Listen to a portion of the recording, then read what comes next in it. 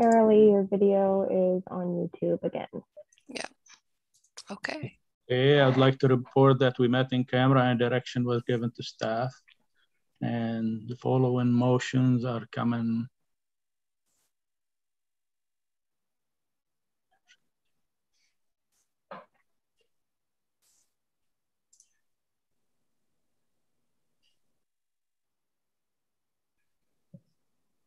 Okay, anybody ready to move the motion? I'll move it. Moved by Councilor Langley, well, second by Councilor Green. Any question on a motion? Council Rhyno. Council Rhyno, you're on. Just, just a question. Do the people in, in, uh, uh, look, looking at this through the internet, do they get, do they get to see the motion as read? Because if they don't, I do believe the motion should be read.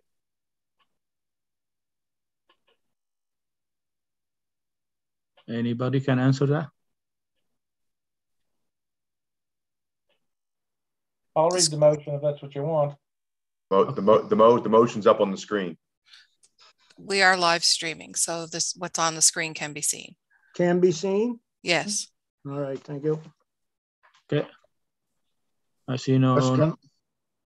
question being called. We go to the vote. All in favor? Aye. Aye. Motion passed unanimously. Well, that will conclude our infrastructure and operation committee. Uh, I'm looking for a motion to adjourn and go for lunch. So moved. So moved. Moving second. All in favor? All right. Okay, we are adjourned till what time? It's good. 1:30, 1:40, One thirty, good. One thirty. 1:30. Okay, we'll convene at 1:30. Don't have to drive far. Oh,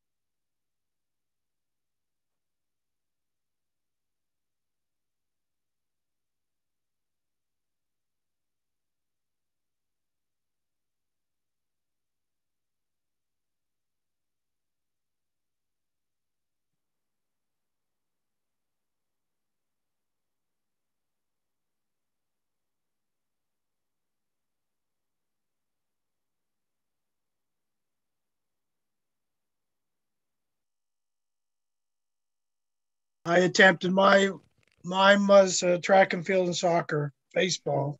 Yeah. Uh, Norval, the grade five class that I'm in, they're just about to embark on a um, a project. It's kind of a multicultural project, but uh, they're trying to relate to uh, different topics that the kids will relate to.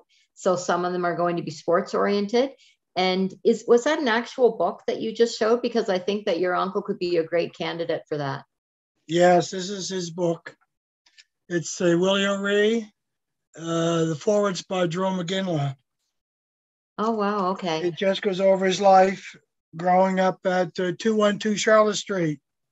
Many Maybe summers touch- spent, many summers spent in New Brunswick. Yeah, I'll uh, touch base with you on that further.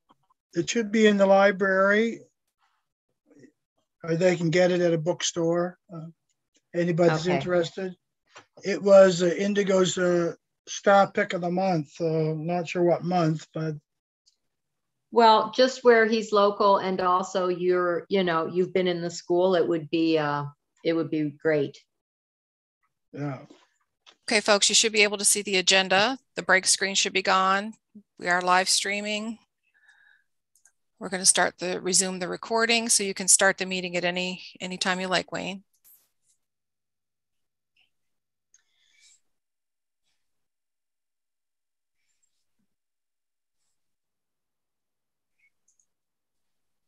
Carolee, can you please start my video? I cannot start it. It said you have to start it. Okay. There, you should be able to now. Is there anybody else?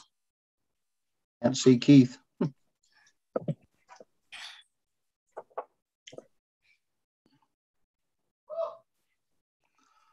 Keith's there. We can see Keith. And Tom.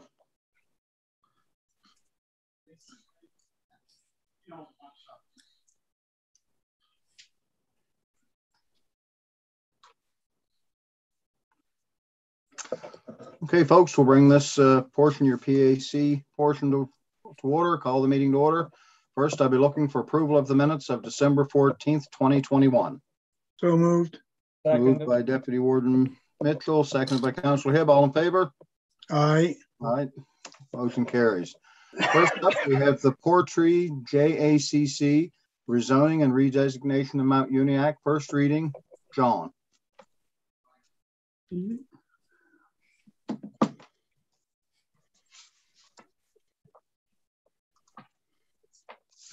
Like uh, you can see my screen there now, Mr. Chair. The- Yeah, I can. Okay. Um, yeah, so this is uh, an application uh, to go from rural use to um, R2 uh, to dwelling unit residential, or it was an application to go to R2.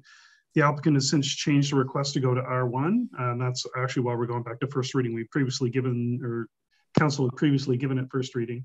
And a public information meeting was held uh, back in April. Um, and uh, this is the property outlined in orange here. So it borders the HRM boundary here on the white side, um, the Sackville River along here, South Uniacke Road.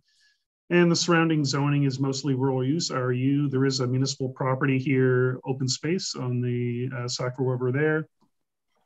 And uh, the property on the HRM side is zoned uh, what they call mixed resource MR1, which is fairly similar to our uh, RU zone. Um, so the proposal is to um, change the designation and zoning to allow a 50 lot subdivision. Um, and there is a concept here. It should be noted that this is only a concept. It hasn't been reviewed under a subdivision bylaw yet. That would obviously happen uh, after any rezoning.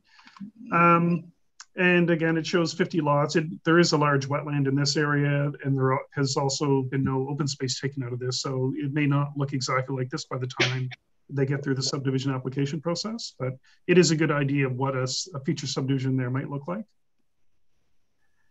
Um, in terms of policy, so the Mount Uniacke Growth Management Area is fairly unique in that it allows this type of development, uh, development, whereas the other growth management areas obviously rely on services, uh, municipal services. Um, the zone it's in, this property is in though, does not allow new roads, a rural use zone. So that's uh, the need for the redesignation and rezoning. Um, and because this is an MPS amendment involved in this application, council's decision is not appealable to the URB. What we've learned so far from reviewing agencies and our review, uh, firstly, the RCMP really have no concerns. They did comment on the proposed road extensions to the HRM boundary. Um, their concern there would be if those roads get extended in the future, there could be an issue with jurisdiction about how you get to that part of HRM. Um, although HRM commented that they don't have any concerns, but they also commented on those uh, roads terminating at the HRM boundary. And they noted that in their own regulations, they're, they don't foresee any future roads in that area. So that might uh, negate the concern from the RCMP. Um, Nova Scotia Public Works are not requiring a traffic impact study for this application, uh, and all their other comments related to the intersection location and drainage which are issues that really get addressed at the subdivision stage. Similarly, East Hants Infrastructure and Operations um, commented on the road layout, and that's really you know an issue for the subdivision stage. The Sackville Rivers Association commented that the property abuts the Sackville River. They're simply reminding us that uh, you know any development has potential to do harm to a waterway. Um, they also point out the large wetland complex on the property. Um, they're also hopeful that the watercourse greenbelt zone remains undeveloped, and they're also hopeful that it actually comes into public ownership as a result of the application to allow um, what they envision as a future river conservation corridor trail that that would go from HRM into East Hants. Um, so the watercourse greenbelt portion of this property is not proposed to be re rezoned as part of this application. It would stay watercourse greenbelt. And how much of that um, uh, land comes into public ownership, that's really, I guess, um, through the subdivision process, uh, East Hants Parks Rec and Culture commented that um, um, you know they may be interested in acquiring some of that land if there's a trail network that it could connect to from HRM. So that would be again something that would happen at the subdivision stage. In terms of hydrogeology, um, uh, the applicant engaged Earthwater Concepts Inc., uh, Richard Gagne, um, to conduct a level one groundwater assessment for the proposed development. And the report actually recommends that they go on and do a level two assessment. Um, but he also said that he didn't expect any issues with quantity or quality of water on this site. he, in fact, he suggested that even using very conservative um, uh, estimate, there's a potential for 500 additional dwellings within the groundwater recharge area that this development is in. And, you know, this is proposing 50 dwellings. So you know, quite quite a bit uh, less than even that conservative estimate. The, the consultant's main concern is really with well interference within the new subdivision if wells are put too close together, but that's really a concern anywhere. I don't think it's specific to this site. Um, and I, because of that recommendation for level two, I did call the consultant, had a conversation with him. Um, but after that conversation, I'm pretty satisfied that he's comfortable that there's enough water, or highly probable that there's enough water in this recharge area for these 50 dwelling units. the um, the only reason he recommended that level two is because of where glacial till is on the property. There's a lot of soil, more soil in the southern portion, so it's more difficult for him to get a read on the geology. It's the only reason that he recommended the level two. So in terms of citizen engagement, we do the normal advertising. Um, and again, I, I, mentioned a public information meeting was already held. uh, issues that came up there were the condition of the South Uniacke Road and Bridge, uh, impact on development on property taxes, the environmental impact on the Sackville River wetlands and wells, uh, all addressed. And a survey was also circulated to uh, about 50 property owners within 500 meter um, setback. Council directed us to go 500 meters instead of 300 meters. Uh, so we did that. And we only got three responses though. And they also talked about things like traffic and safety on the South Uniacke roads. Um, one, one of the um, respondents objected to the R2 zoning, talking about that would could potentially double density. Well, if we're going to R1, that's obviously no longer an issue. And also had concerns with accessing childcare for school age children with additional population, saying that's a challenge in the area now. And also commented on the lack of municipal services in the area. So if a public hearing is approved, uh, staff will again circulate to all property owners within 500 meters. Um, Now my chart here is is a little bit mixed up because we're really at this stage. We, we've done the questionnaire, held the PIM, and got comments from reviewing agencies, but we have to go back to first reading because again, we're, we're going to an R1 instead of an R2.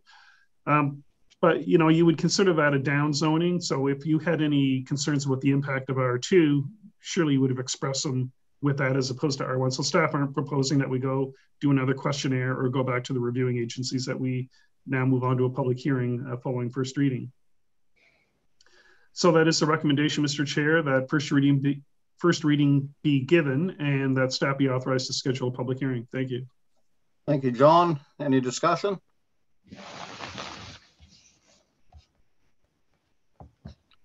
Anybody prepared to move the recommended motion? I'll move the, re- Are you moving the motion, Sam? Yes? We have a Yes. seconder? I second it. Hey, moved by uh, uh, Mr. Balcom and seconded by Eli. Any discussion? Councillor Perry? um, thank you, uh, Mr. Chair, through, through, through you to staff, John. There's been considerable, uh, conversation about the safety of, of that bridge in South Uniacke, and we've actually written to two, I believe it was TIR before, and I, I don't know if we sent another letter to Public Works, because recently they just did a resurfacing, uh, uh, not a deep resurfacing, uh, uh, a casual glide across of uh, parts of the South Uniacke Road, which if you drive down it, uh, well, not today, it's all covered in ice, but early parts of the winter, it was already starting to fall apart again.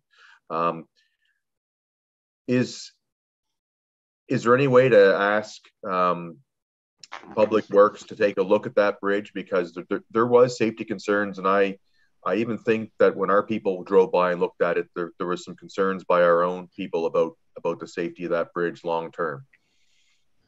Uh, yeah, I'm going to throw, if, if it's okay, Mr. Chair, uh, let Jesse answer that. Uh, through Mr. Chair, the uh, yeah, the bridge in question staff had gone out and looked at the bridge. There had been evident, um, at the very least, topical damage with the sides being poshed off to the side. Um, when we last went and looked at it, we we sent comments to the province, provincial staff, um, uh, with concerns and requested them follow up and, and investigate the area. They commented that they have done that, but have not sent us any documents stating the future plans for that structure at this time. So, um, uh, if further information such as that was of interest, um, staff could pursue that from the province and post on council chambers online if that was uh, a will of executive committee and then council. Thank you, Jesse. No, I just wanted to make it known, like, we've done everything we can at the municipality to try and address that bridge uh, in talking to the province because it is a provincial road and we don't own it or have control over it. So um, I know some of the residents uh, that they're concerned whether this subdivision goes in or not is really not a concern to them. Their, their main concern is still uh, the safety of that bridge because it is a dead end road. It, it, it butts off onto um, the uh, trailer park back there. So, you know, if that bridge goes out, there's a lot of people that can be cut off. So um, I'm I was a little perplexed why there'd be no traffic study or anything done by Public Works on the road or, or, or required ahead of time because I imagine part of that traffic study would be or or assessment would be the road conditions. So that that's all I have. Just making those comments that uh, I know we had looked at it and we we'd forward stuff on and I guess we didn't hear anything back. Thank you. Thank you, Councillor Perry. Councillor Moussa. Uh, thank you, Mr. Chair. Uh, John, uh, can you can you refresh me on the South Uniacke Road? There's already over 200 units down there with, with the trailer park and stuff, and only one access to it. So what's the difference between that and another subdivision that we request that they have two access when they reach 100 units?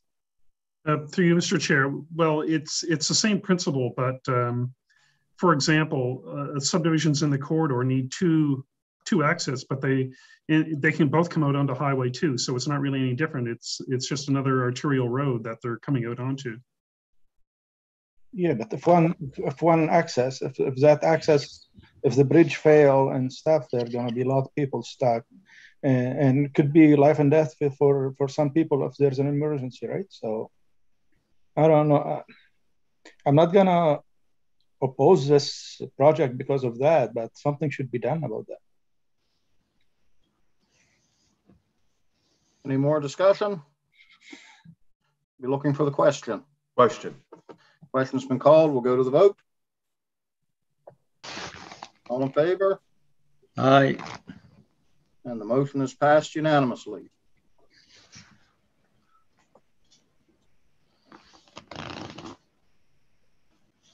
Okay, next up, we have Road Gap Project Two. Tippy.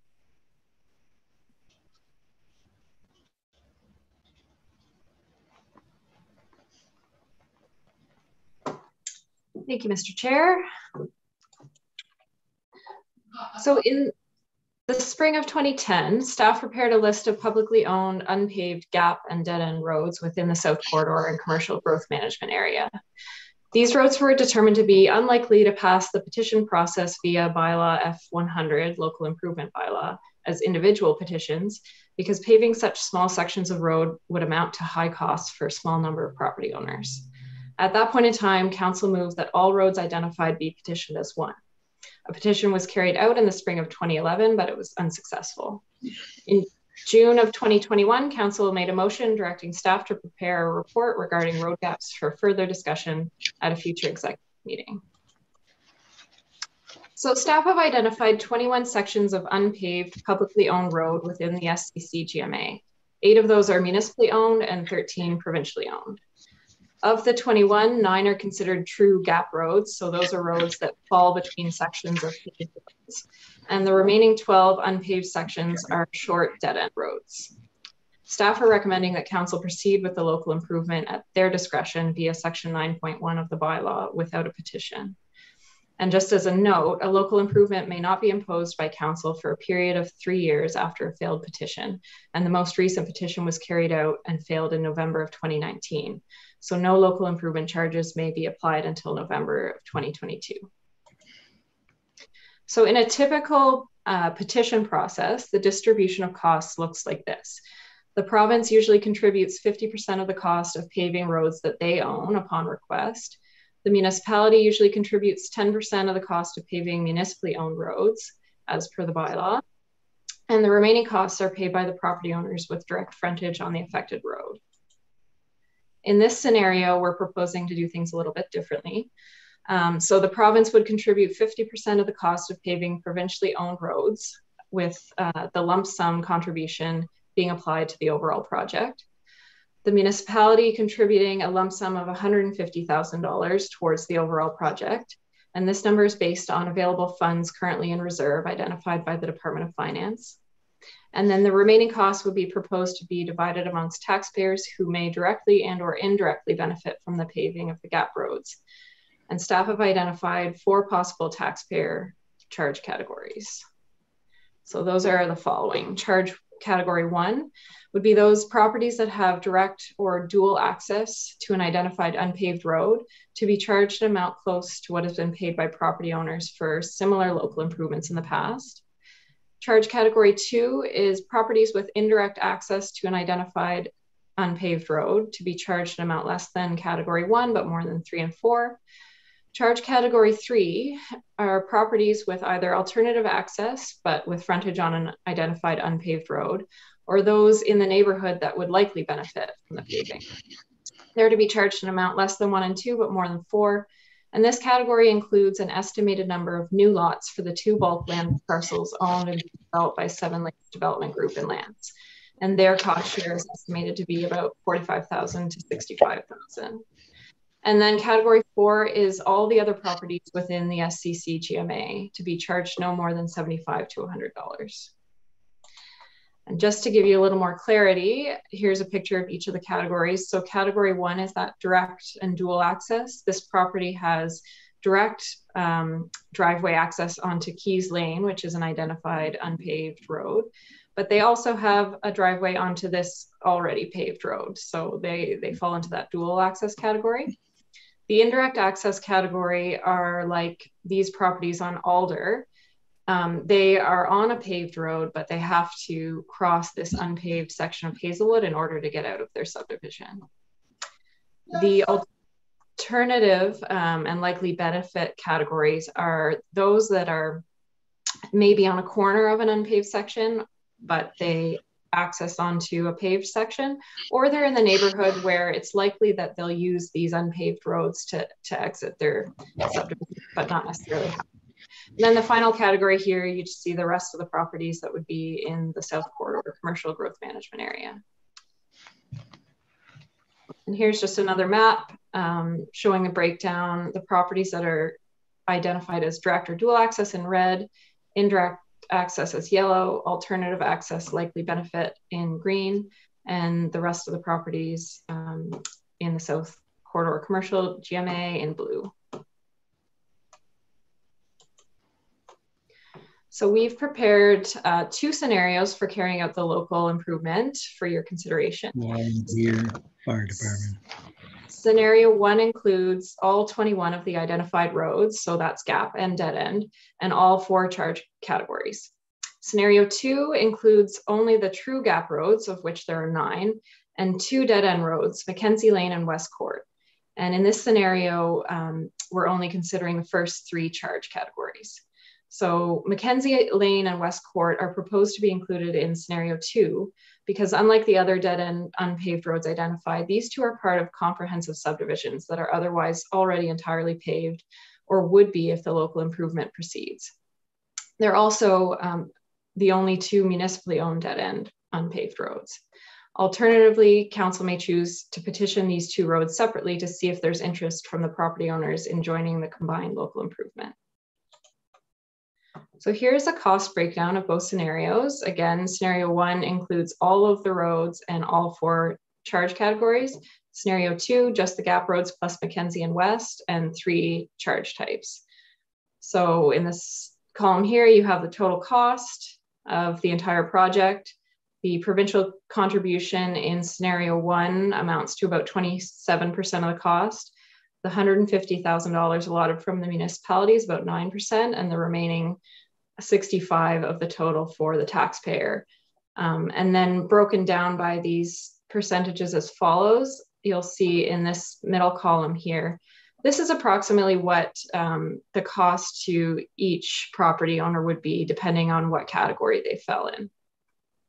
So again, we have um, category one above that 3,000 mark and it trickling down to category four at $90. And then in scenario two, we just remove that category four. So it, um, and, and the other roads. So the total is less and you'll see a drop in the provincial contribution, an increase in the municipal contribution and the cost per property here. So all costs are approximate and will be updated at the time of the local improvement. The taxpayer charges for categories one, two, and three may be paid over a period of 10 years plus interest if desired. The taxpayer charge category uh, charge for category four in scenario one is proposed to be a one-time payment. The distribution of taxpayers' contribution amongst the different charge categories is not fixed and may be adjusted, but is generally suggested to follow the following formula. So category one at about 60 to 70%, category two, three to five, category three, 15 to 30%, and if category four is included, about 15 to 20%. Staff are recommending scenario two, where only the true gap roads plus Mackenzie Lane and West Court are included, and only the first three categories are charged. Scenario one is not recommended for the following reasons. The short unpaved dead end roads included in scenario one are not likely to benefit the wider community. Staff recommend the provincially owned sections, so that's all but Mackenzie and West, be paved by the province and taken over by the municipality. And including all properties in the SCC GMA as in scenario one places a burden on staff to allocate and manage the proposed charges for a large number of tax accounts and a financial burden on those taxpayers who may never benefit from paving these roads uh, to help cover the costs. So the recommendation from staff is that Planning Advisory Committee recommend that Council authorize staff to proceed with this local improvement on the basis of scenario two, and that staff be directed to draft an amendment to the local improvement bylaw, and that the road gap project be included in the 2022-26 capital budget for construction in 2023. Thank you.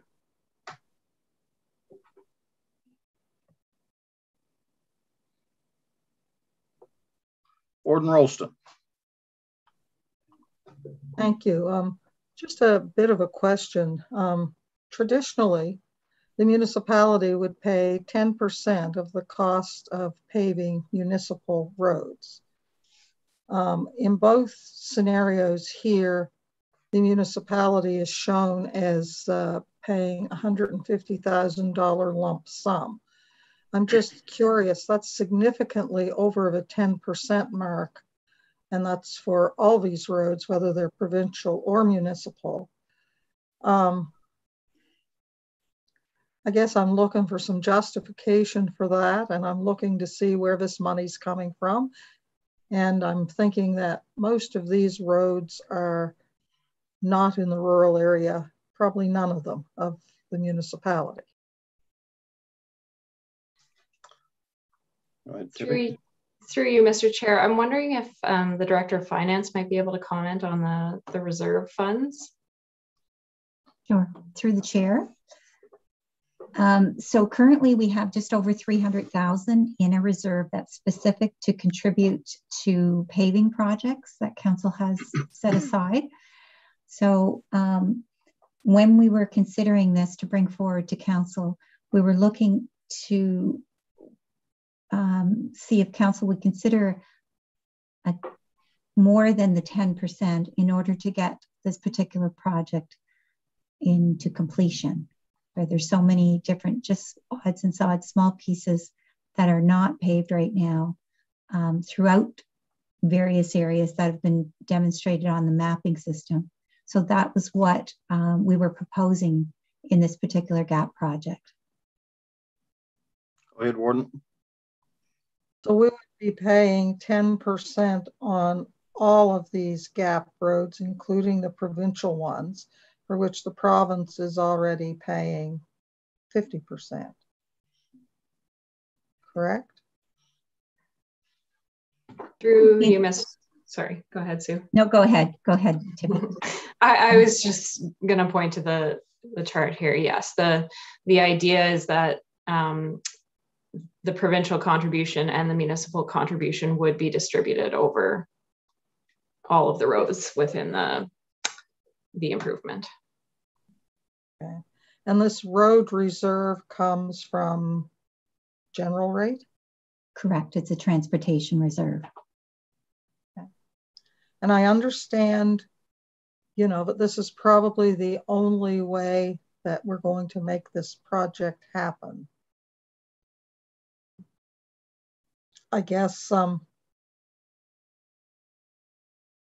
My concern is with the difficulty and near impossibility of getting gravel roads, most of which are provincially owned, paved in the rural area of this municipality. And uh, so, yeah. Okay, thank you. Councillor Perry. Thank you, Mr. Chair. Uh, through you to staff. Um, under this, taking it from the reserve, uh, how much would be left in the reserve? Through the chair, there would just there would be roughly um, just over 150. We took just less than half of what's in the reserve. So, so to be roughly 50 percent. Uh, No, I'm just like um, I understand the need for this to happen. Um, the other thing is we do have a lot of municipal roads uh, that we are taking over, and we are we are, you know, our business park expansion, all those roads we own as well. And those, uh, the maintenance costs are not going down. Um, they're only going to go up. So I'm just, you know, uh, $150,000 doesn't go a long way when you get into paving large sections of roads. So um, I'm a little concerned with the uh, health of that reserve at this point. But uh, I'll, uh, I'll think about it. Thank you. Go ahead, Sue. Um, through the chair. Um, so just so there's a full understanding, this particular reserve is just set aside for paving um, roads like this for a local improvement. There's other reserves um, and um, different types of financing for the repaving of the roads that we currently own. Does that help? Head Councillor Perry.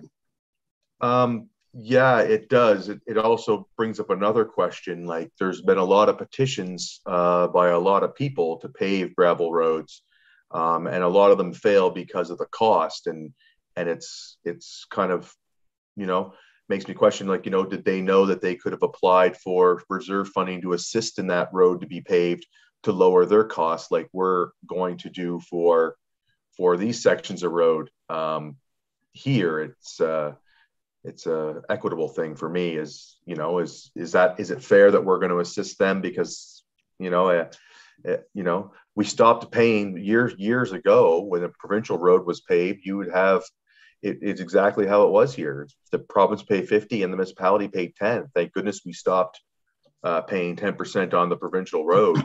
Um, but you know there's it, it's just going to raise questions in other areas outside the corridor where it will look like you know more stuff is being done there than anywhere else. That's that's the that's not that can be the perception. That's not what I believe is happening, but I don't want to have that, you know, be the perception of people. Thank you. Thank you, Councilor Perry. Wait, Sue. I see um, CAO also has her hand up. Uh, did you want to go first, Kim? Or um, I was, you, Mr. Chairman. Oh, go ahead. Go ahead. Um, so I was just going, when we do a petition for paving, that 10% for a municipal road would be included in the numbers that people are considering. Um, we did go with 150,000 here just because there needs to be some incentive if council wants to get this these road gaps paved. Um, and the, the folks who live on these roads, there's very few of them that, um, or some of these roads, I guess, a lot of the people don't even drive over them. So they're not going to sign a petition, or there might only be two or three people to sign the petition.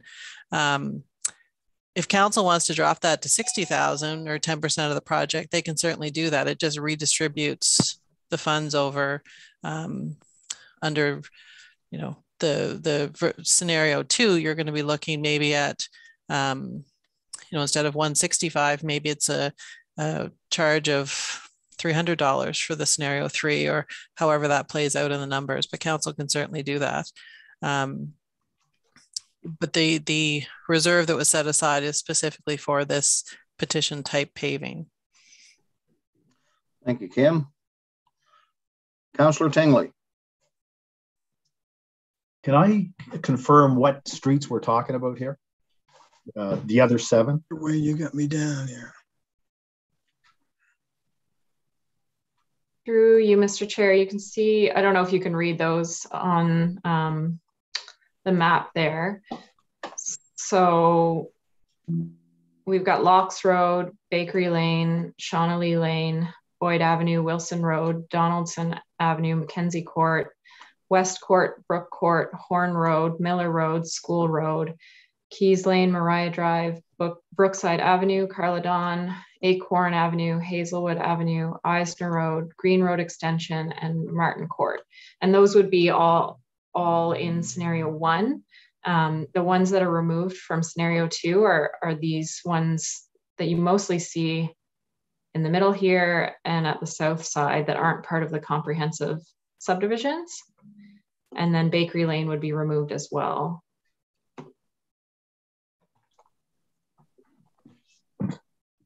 So the uh, I'm just trying to understand here. So the the these these roads that were listed in Lantz, they're included in it, like Keys, Brookside. Yeah, okay.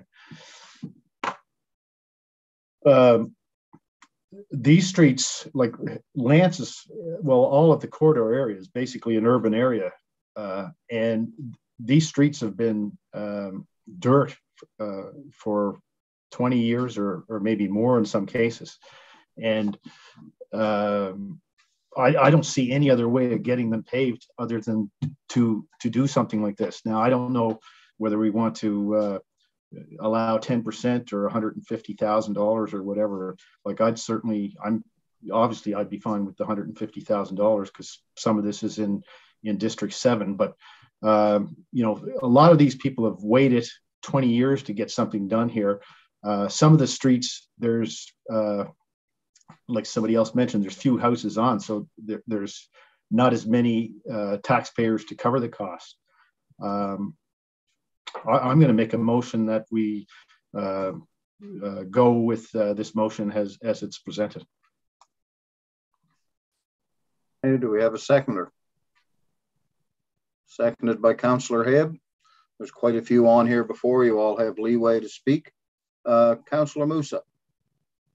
Uh, thank you, Mr. Chair.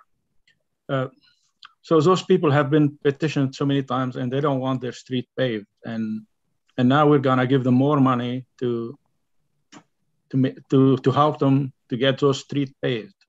So we have the same thing here on Lakecrest Drive, and be prepared for another 150,000 to cover that if you want to give one side 10%, because another 10% on the top of the 50% on Lakecrest could pass the petition too. So if we want to do it in one part of the municipality, we better be prepared to do it in everywhere. Thank you. Councillor. Councillor Garden Cole. Thank you, Mr. Chair. Um, so we just have to remember that we're just referring to these gap roads. I mean, like I've got a lot of subdivisions in, well, definitely in uh, in District 10 in Enfield that have dirt roads, but we're not considering repaving roads like that. We're just talking about gap roads that have unfortunately fell between two paved sections because of the way things went between developments that happened.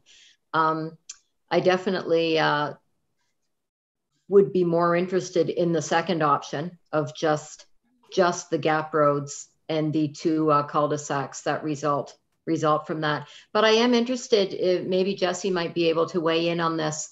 Um, do you have any kind of figures for what it costs to grade and uh, maintain these gap roads annually, Jesse?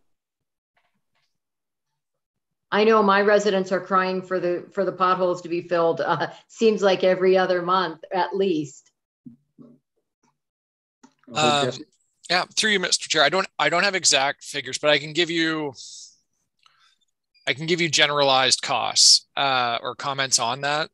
So through through the service corridor area, um, there's increased traffic to, on gravel roads versus you would see it elsewhere. That especially when you're tied into subdivisions. So you see a higher increase in potholes, especially at intersections where there's stops and starts. Um, there's a few famous ones for just major wear and tear. Boyd and Wilson is one of them. Um, Brookside in general is just an interconnection of the entire subdivision and Lantz. Uh, that has had historical issues as well. The cost the the cost to build a gravel road is cheaper. The cost to maintain year over year is is more expensive and it's variable it's really hard to predict so things that can happen is especially in nova scotia where we dance around the freezing mark and the freeze thaw um, you can really do some damage on gravel roads. And in serviced areas um, it we experience more significant damage than we would on just repairing just the gravel sections. We uh, had an incident in Lantz where two manholes were hit in the last two weeks. Um, hit right off, and then there's a wide opening, and and we and there's action required. There's there's just more things, right? The the the road goes up and down because of the freeze thaw.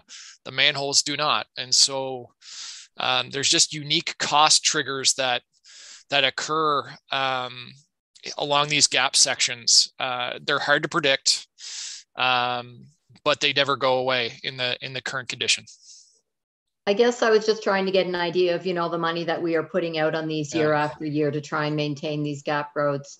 Um, and I think the thing about these true gap roads is that if we could get them cleaned up, I, it's my understanding that would be the end of them, right? That that circumstance will not will not happen going forward in our municipality.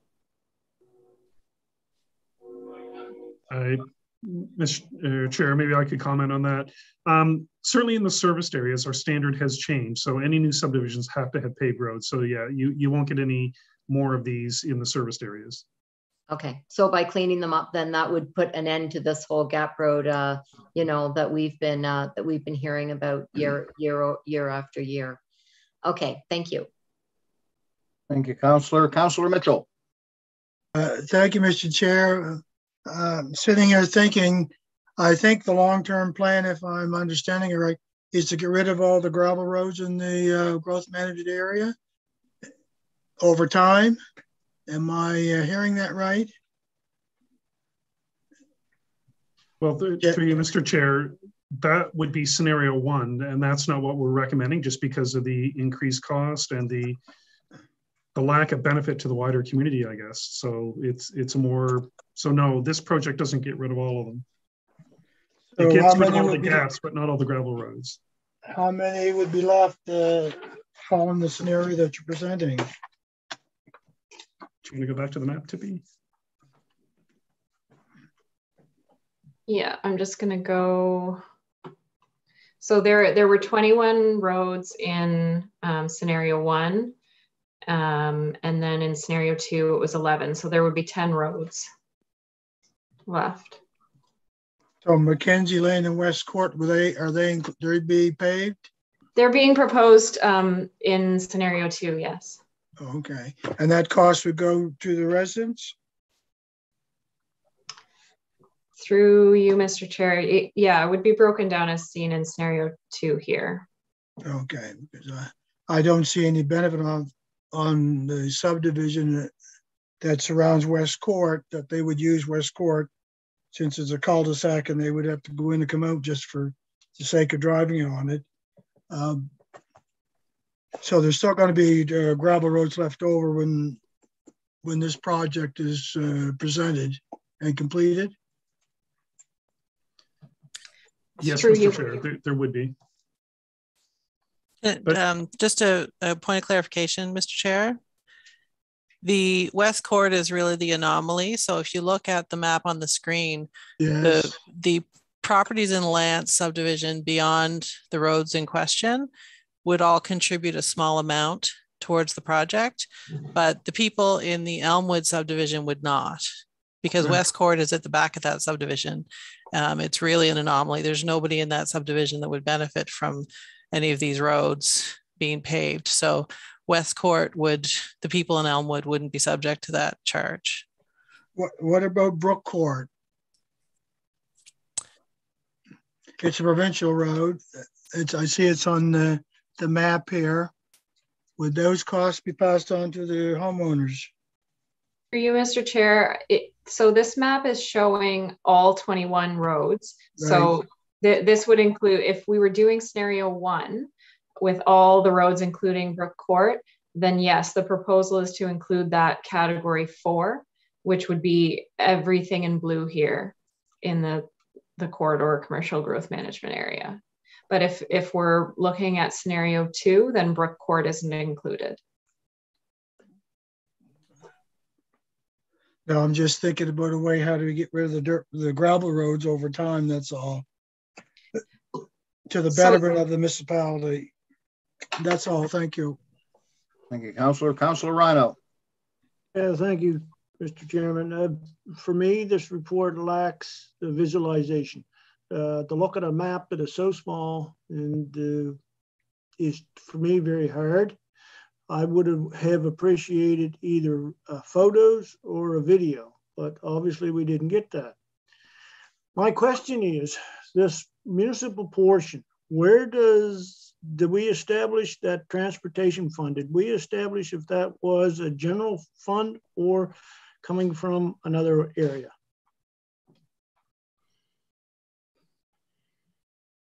The chair.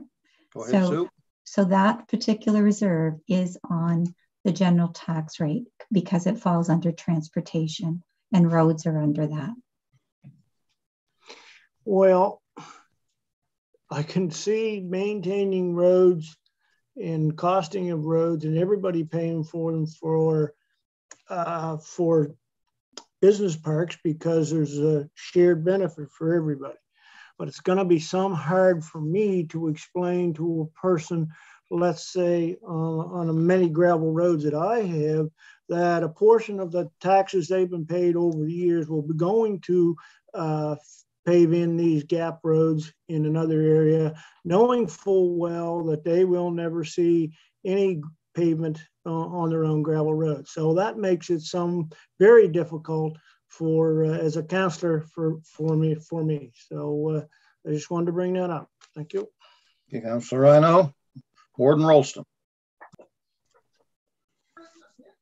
Yeah, following along on the discussion, if it was just the 10% that the municipality traditionally always pays towards road paving projects, it would be much simpler.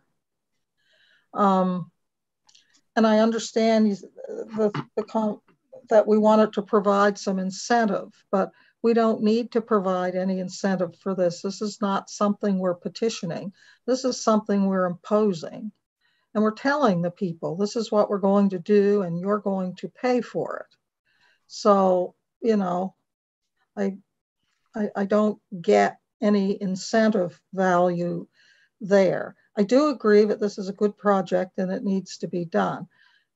But, and maybe I missed it in prior discussions or that, I wasn't aware that we were going to significantly increase the municipal contribution to that. And if we're going to do that, then as Councillor Moussa has said, we need to be prepared to increase municipal contributions in roads in other areas. And I just, I get roundly scolded over roads much more often than I ever did now. Even though they're provincial roads, people don't really care.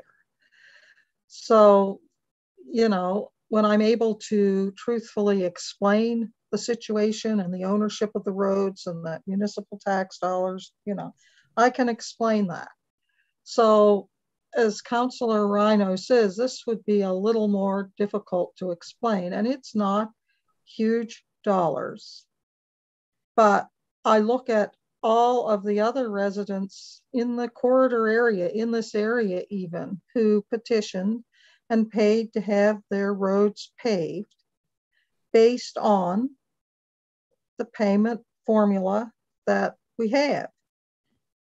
So now some of these folks are being told we're going to pave up the gaps, and that's a great thing not only are you going to have to pay because you might have an indirect benefit, but you're also going to pay again because we're giving a much larger. I mean, when I look at the cost of the uh, whole project, 10% of it would be 60,000, but that's on the whole project. That's not on municipal roads in the project. So you might be able to sell me on 10% of the whole project even as a one-time thing.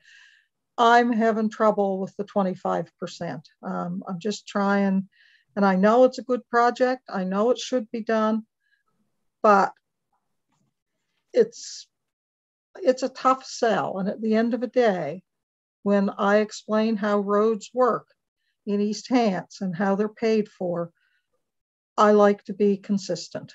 Thank you. Thank you, Warden. All right, the Warden Roulston was the last on before the motion was made. All discussion now will be directed towards the motion.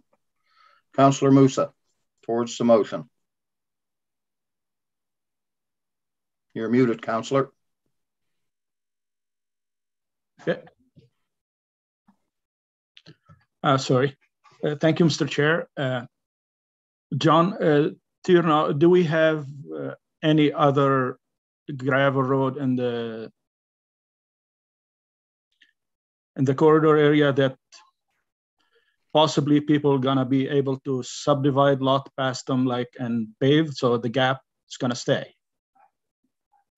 So if you have a gravel road and you put and you want to put a new subdivision of that gravel road you're gonna you're gonna create another gap right? Is that possible? Um, i know it's possible it's in possible. Uh, i haven't really looked at the yeah, I guess there are some of those roads you might be able to create additional lots. Yeah. Yeah. So so so you can, you're not gonna get rid of all the gaps. So so we're gonna have another. We're gonna we're gonna we're gonna deal with that problem all the time. And if we're gonna keep keep giving 25% on every road, that's gonna be a gap. That's gonna be a problem too. Plus, one more thing. I think when the corridor takes 75% of the gas tax for infrastructure, those roads are part of the infrastructure. So I think the gas tax is more appropriate to take money from to fix those if you want to do it this way. Because that that was the reason why the corridor takes 75%. I don't know. I wasn't there, but probably the warden can comment on that. Through you, Mr. Chair, could I just, um, I think the only, there's no municipal scenario, and John can correct me if I'm wrong, but there's no municipal scenario where we create another gap by extending a road. Any roads that would be left over would be provincial roads that are unpaved that may be able to be expanded. Is that true Um, statement?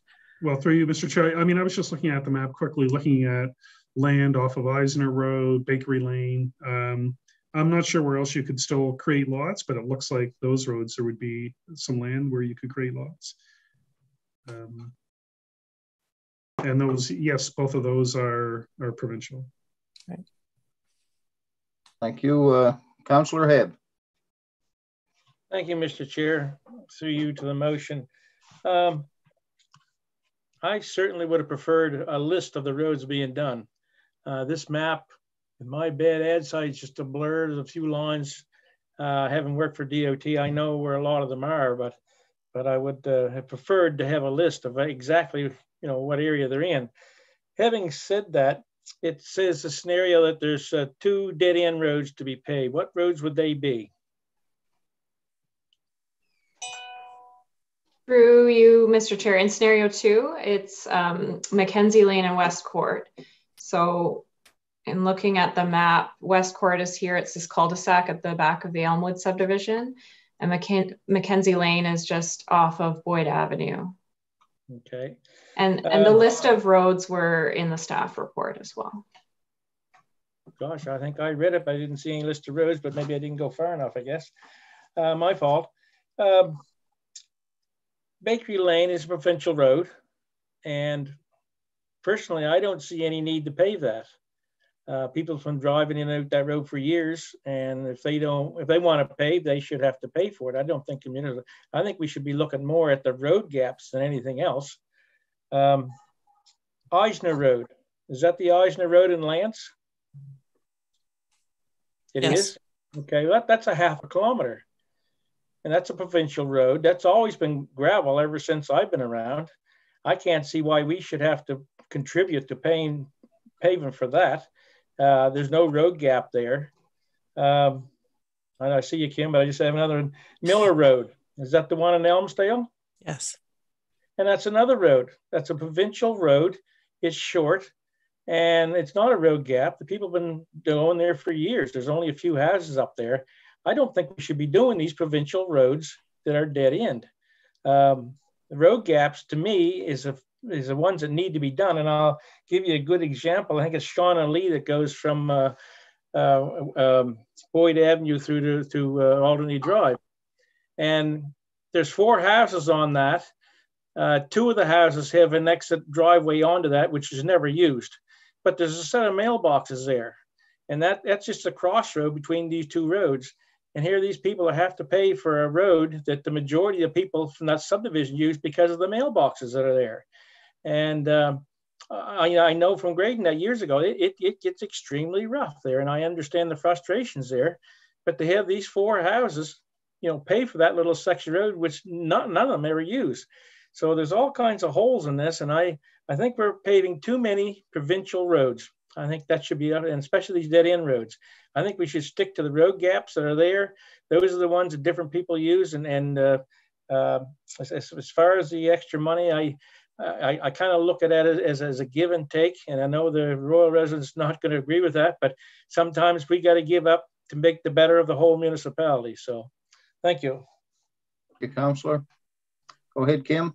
Just um, to, to ensure that we're on the same page, the motion on the table would include only those roads that are true gap roads.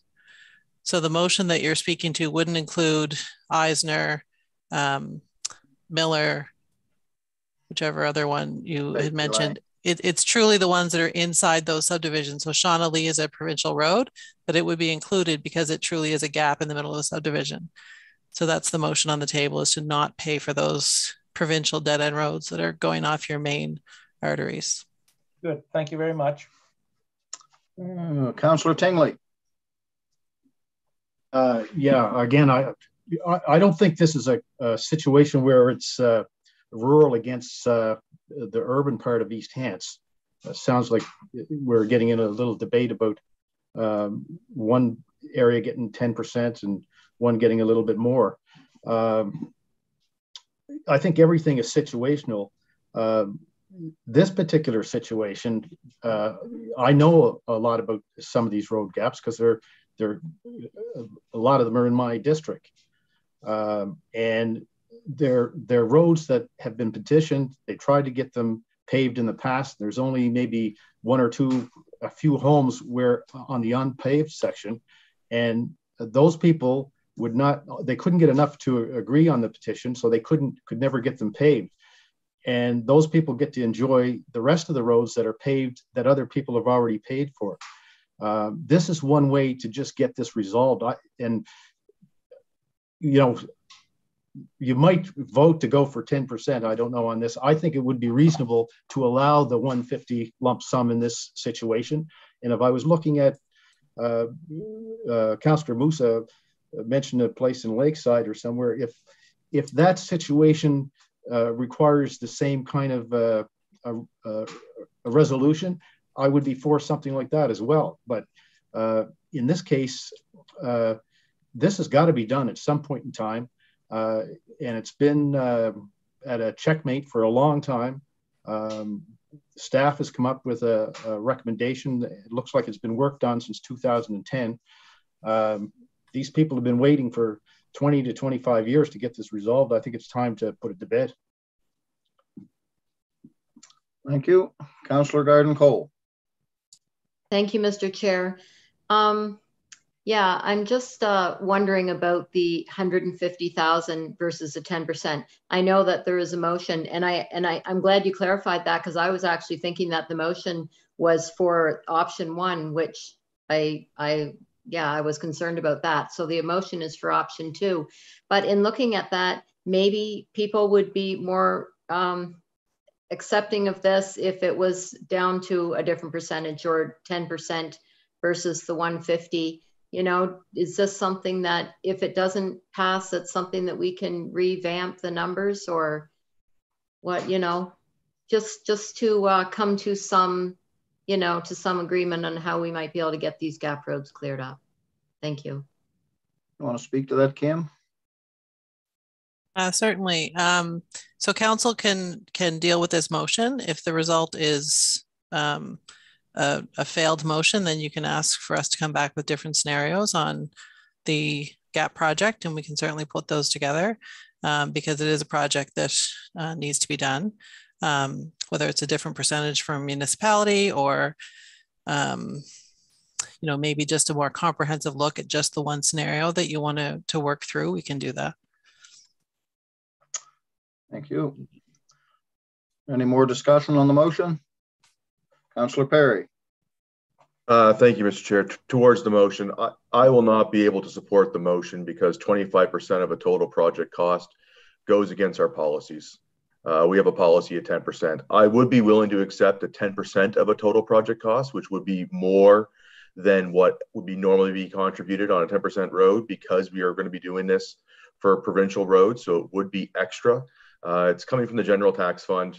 These roads have been petitioned, uh, as Mr. Tingley has said, for 20 years. There are many roads throughout the whole municipality that have been petitioned for 20 years that fail for the same reason.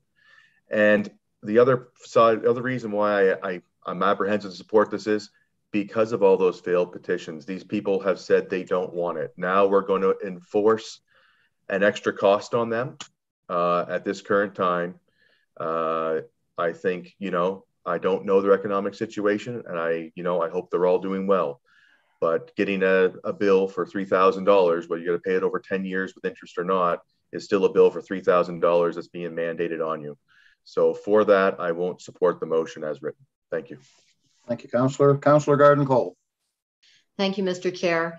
Um, I'm just wondering if if uh, I if the uh, um, Councillor Tingley, who made the motion, if it might be appropriate to amend the motion that's on the floor. Uh, well, I'm going to leave it as it is, and Okay. if you if you want to vote it down, uh, you know, maybe we can look at something else else afterward. But um, I think it's very reasonable what's on the floor here. And if anybody went in these subdivisions and looked at the situation, it'd be like having a a, a dirt road partway down Barrington Street in Halifax. Uh, it's just ridiculous, and uh, there's got to be a solution to it. A lot of people do want it resolved. I've had a lot of calls in my short time of being on council asking to to get this resolved. Um, you know, and it, it, a lot of work has already been done on it. Uh, this argument over whether it's sixty thousand or one hundred and fifty thousand, uh, it just doesn't seem reasonable to me. But uh, we'll have a vote on it, and if you want to vote it down, vote it down. And I'll remind council that all discussion goes through the chair. It's just not free reign. Warden Roulston. Thank you. Uh, I would just say, had there been some consultation on, you know, prior to to um, making an exception to the policy and increase amount for this, that might have helped because perhaps we could have come to some agreement that yes, we could do this for this project on the caveat that if we did this, that this would be available or that would be available elsewhere. But it's it's extremely difficult when you answer to residents and uh, even if they're not municipal roads, residents like to talk about roads. And as I said, I like being able to be consistent in what I tell them when I answer their questions. So for that reason, I'm going to move an amendment to the motion, which removes the $150,000 lump sum and replaces it with 10% municipal cost. And with the remaining costs being reallocated among the other partners in the project. We have a seconder for the amendment. Second. Seconded by Councillor Moussa. Keith, you were on before. You can have free reign to speak. Uh, just a couple of things on that. Is the motion in order because it takes away from the original intent of the motion? Uh, so that would be my first question. Uh, All it's doing really is changing the costing of it, not really the original intent. The intent the is to pave the gaps. but if I I'm may, let the Mr. mo- I'm going to let the motion proceed, the amendment proceed. I don't see it change. I don't see it changing the whole intent of the motion. Okay, uh, I have to abide by your rules. I don't agree with it. But anyway, um, I'm going to vote against the motion and uh, for previously stated the reasons. And, and, I, and I'm hoping that uh, that uh, Councillor Tingley did not uh, think, uh, uh, mean to say that anybody on gravel road is ridiculous or the gravel roads in any area is ridiculous. I hope he didn't mean to say that. But I do invite, if, you know, anyone out there to to uh, come with me and try to explain to my residents that, you know, this is what we're doing. So rural, urban, it doesn't matter. It's just uh, just the fairness of it. And I invite any counselor to try to explain that to some of my residents who live on gravel roads. Thank you. Thank you, Councillor. Councillor Knockwood. Okay, can you um, uh, say the motion over again? I, I must have missed something there. Well, the recommended motion is on the screen, Councillor, Yes. and the change being made is instead of a lump sum one hundred and fifty thousand dollar payment, it would be ten percent, which would be would be approximately sixty thousand dollars. Okay, thank you. You're welcome. Councillor Tingley. Uh, I I'm off mute now, am I? Mhm. Yeah. I just wanted to say that I am not uh, pitting uh, ur- to, to Keith there through the chair. I'm not pitting uh, urban against uh, rural uh, East Hampstead at all.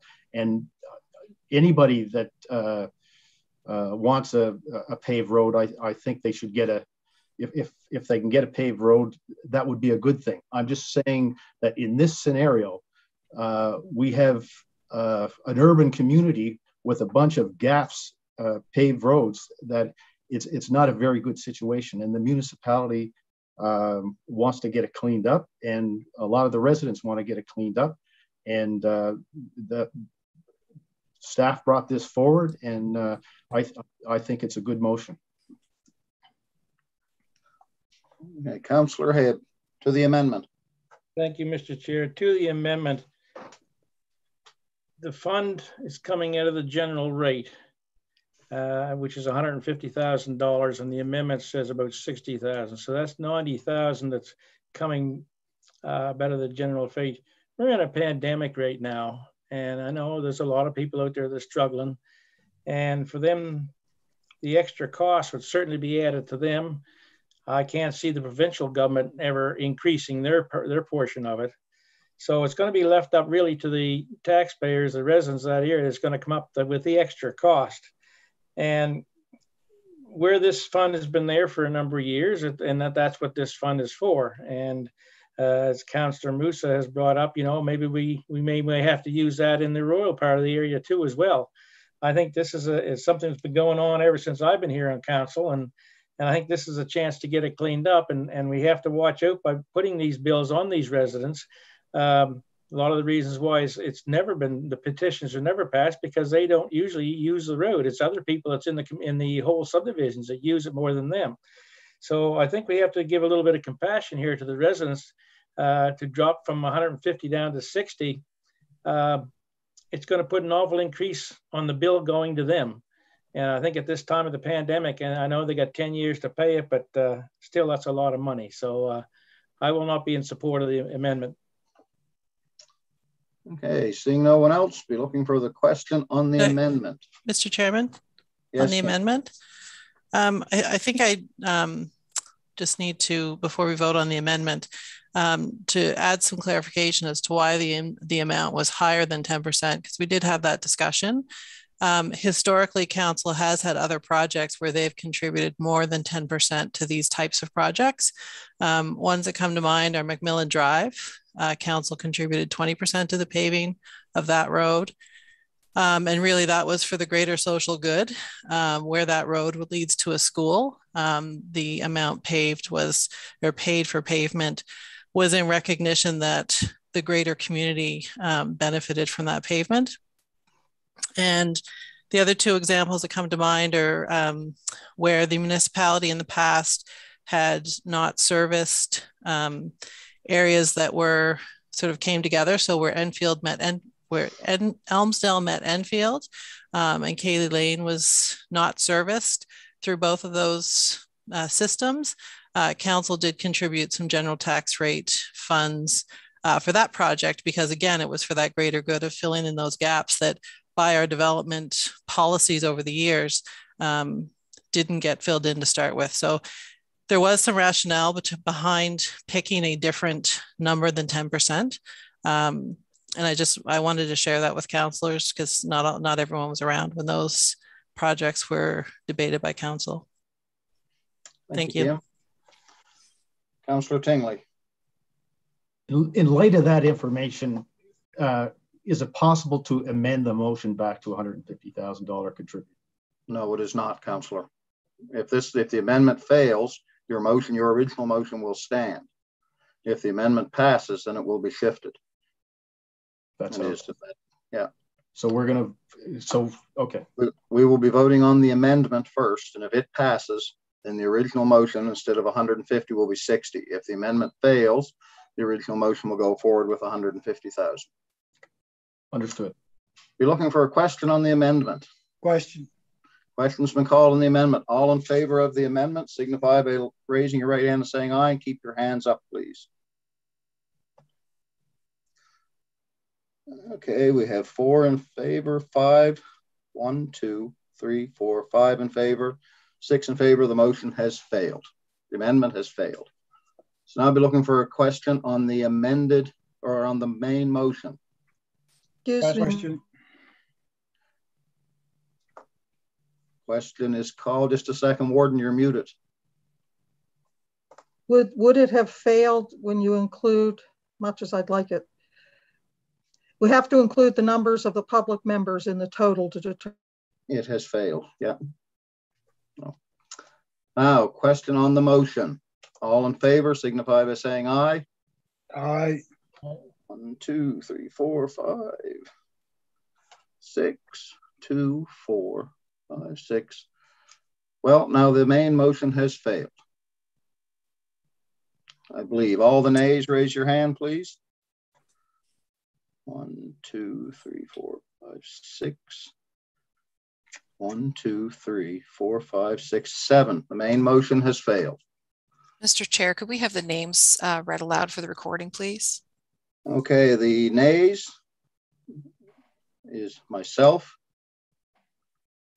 Warden Roulston, Councillor Knockwood, Councillor Moussa, Councillor Rhyno, Councillor Perry, and I believe there was a public member. Did you vote nay on that, either one of the public members? And the public member Balcom. Thank you. I believe that is seven, is it not, Shirley? That's correct. Okay, so main motion has failed. So. Warden Roulston. I don't want folks to think I'm against the GAP project. I'm not. So I would like to make a motion that staff bring a further report on the GAP project um, scenario two, outlining possible alternatives to funding this gap. Moved by Warden Roulston. Are you second on that, Councillor Rhyno? Yes, but I'd like to say something, please. Yeah, okay, go ahead, Councillor. Uh, I'll second the motion, but I'd like to see some, either some fo good photos or some videos along to better than that map, please. Yeah, I believe that is going to happen, Councillor. So, Councillor Knockwood. To the motion. You're, You're muted, muted Councillor.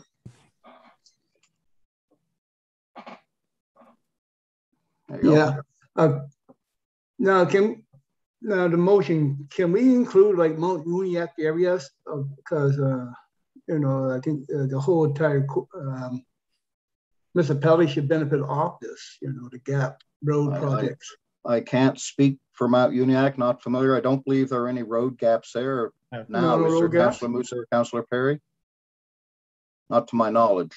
Okay, I thought there was. Okay. okay. Until now, we don't, but we we would soon probably. Okay, so okay. uh, Councillor Perry. Uh, thank you. Yeah, I I'm not against uh, like like the warden says against getting rid of the gaps, but we do have policies and procedures, and if we don't follow them, then there's no real point in having them.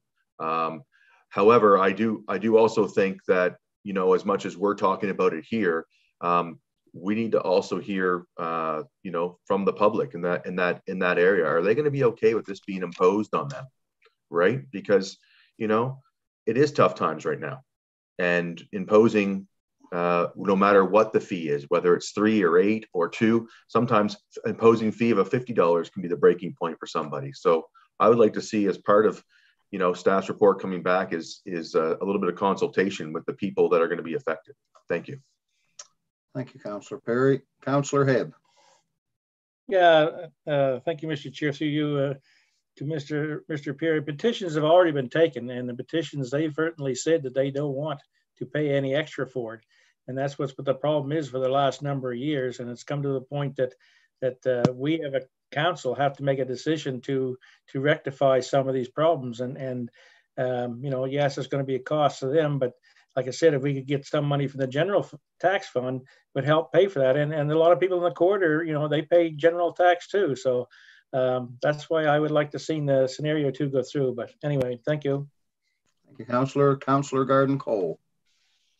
Thank you, Mr. Chair. Uh, through you, sometimes, and it's not always all the people who have refused it, but not enough to uh, to carry it through. And as you say, it is a problem that uh, we've just kind of carried over and carried over. Maybe not myself, but I've been hearing about gap roads for a long time as I lived in Alderney Drive.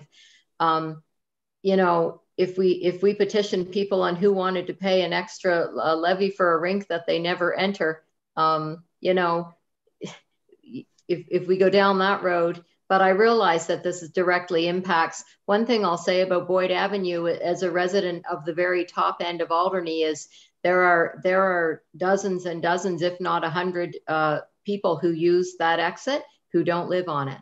So I definitely think in going forward, hopefully with another uh, little study on this, that in that situation in particular, that that uh, that that uh, tax could be spread out among all the residents that use it because it is a really large number in that particular incident. Thank you. Thank you, Councillor Garden Cole. Councillor Moussa. Thank you, Mr. Chair. So those those residents have been petitioned twice, three times, and they refuse it. They're the one who live on those roads.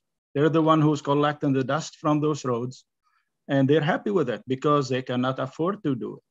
So to please the other people that want to use those roads without going through a, a, one bump here and one bump there and one pothole here and make those people pay for it. I don't think it's i don't i don't think it's fair. I think it's fair that if you want to fix that problem everybody who live in the area should pay. Because to impose $3000 on somebody who doesn't want it just to please somebody that gonna going on this road all the time and doesn't want to pay for it. I don't think that's that's fair. That's a good reason to pay it.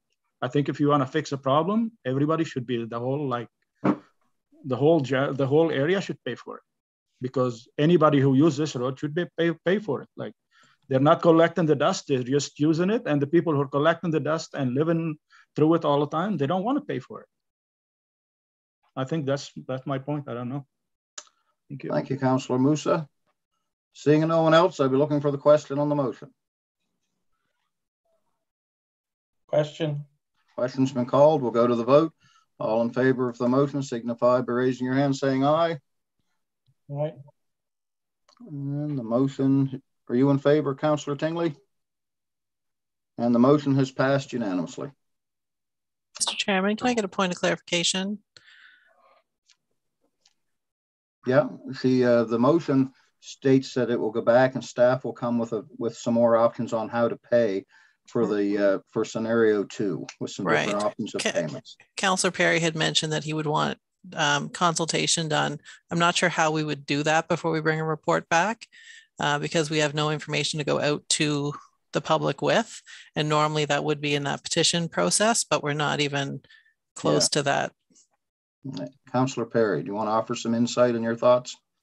Yeah, my my my thoughts were I, I'm not looking for like a public meeting or anything on this. It's just is I, I, I think part of the uh, like what Councillor Moussa put forward and what uh, what Councillor Garden Cole put forward is the the larger number of people that are using it mm-hmm. should be considered uh, in a proposal. I don't know whether it's a local area rate or an improvement charge or or whatever um, to make it a little more uh, fair for for that area to benefit from. And mm-hmm. and you know you you you widen you widen it out and yeah like councillor Hebb said you know everybody pays general tax funds. And uh, if it's a larger group of people it's a it's a lot easier to to divvy out a lot more mm-hmm. uh, money, money, money. But it's it's we're in the middle of a pandemic with massive inflation rising house cost.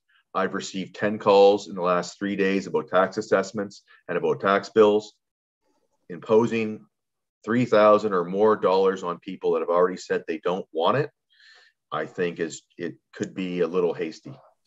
Anyways that's that's just my thoughts. I'm not looking for any public meetings or, or anything like that. Just so, taking in taking their comments in and maybe in the report the previous petition comments that they that they provided with justification and maybe why they said no in the past just that that that would be enough. The information should be on file. We don't need to go out and get any new information. Okay thank you, thank you. Thank you, Councillor Perry. Councillor Tingley. I just wanted to say again, like this, this situation is situational.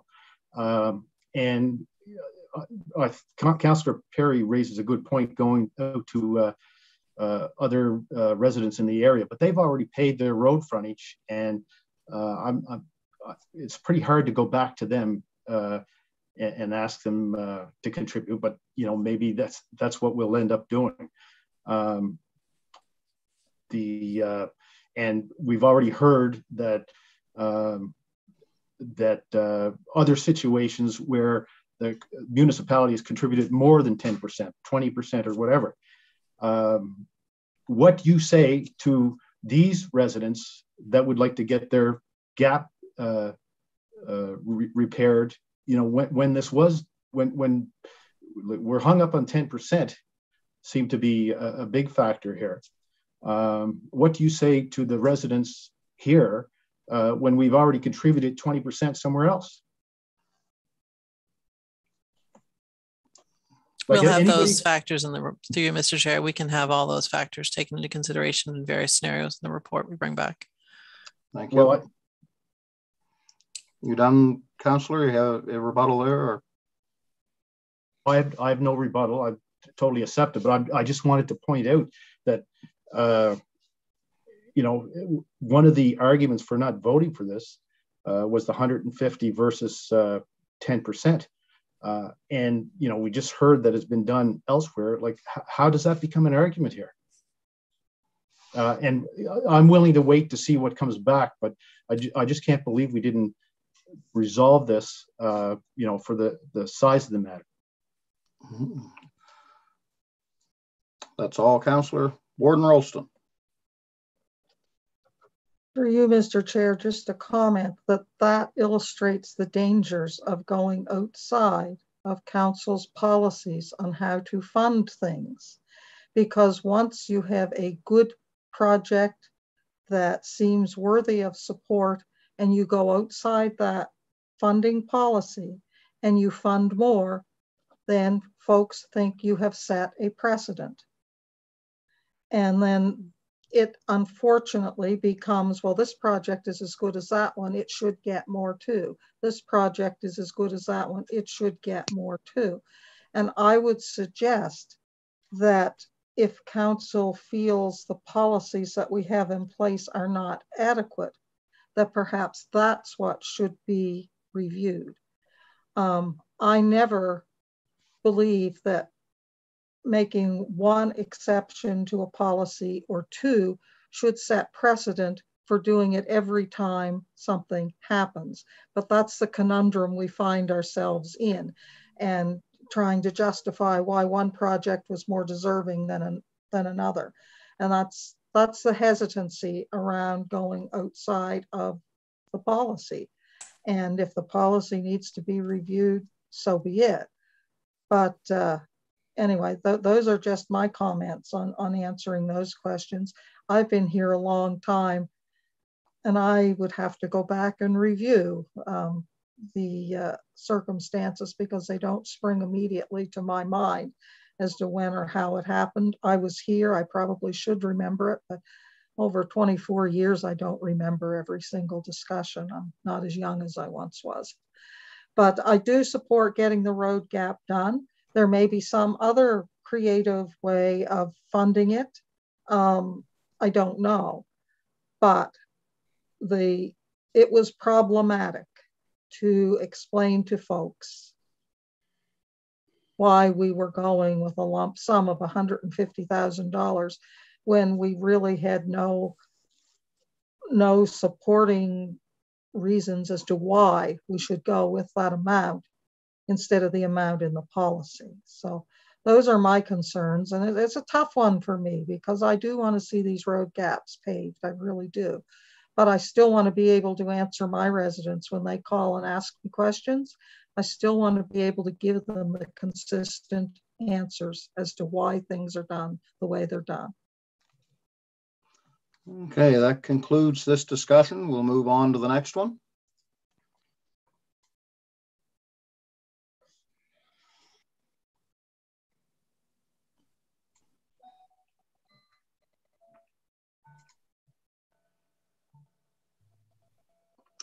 Next up, we have protective fencing for construction sites, bylaw P-900-1, and amendment to bylaw P-900, building bylaw. And Debbie, you're on tap for this one. Thank you, Mr. Chair.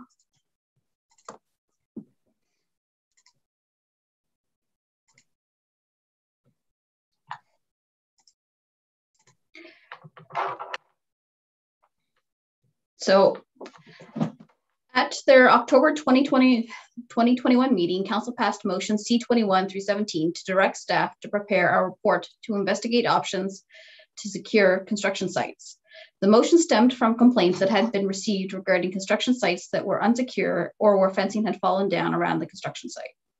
In response to Council's direction, amendments are being proposed to the building bylaw to regulate protective construction site fencing. As part of planning, sta planning staff's research on um, construction site fencing, or hoarding as it's sometimes referred to, staff reviewed regulations from Halifax and Toronto. In both cities, fencing is part of a much more comprehensive set of regulations on construction site standards. Halifax uses an administrative order respecting construction management and requires construction companies to submit a construction management plan to address items identified in the order. Toronto has a municipal code related to building construction and demolition that regulates construction site fencing. Um, planning staff suggest the level of regulation and detail in these two documents are not necessary for East Hants. And I did reach out to a couple other um, jurisdictions. So I reached out to the town of Truro and to the city of Moncton, and neither one of those um, communities had any regulations in regards to construction site fencing. For the single issue protective construction site fencing, staff feel that amendments to bylaw P900 building bylaw should be sufficient. Protective fencing would be required to be erected where it has been determined to be necessary prior to a building permit being issued. And if the fencing was to fall down, um, we could use the MGA to issue a SOT. The municipal solicitor has reviewed the proposed regulations.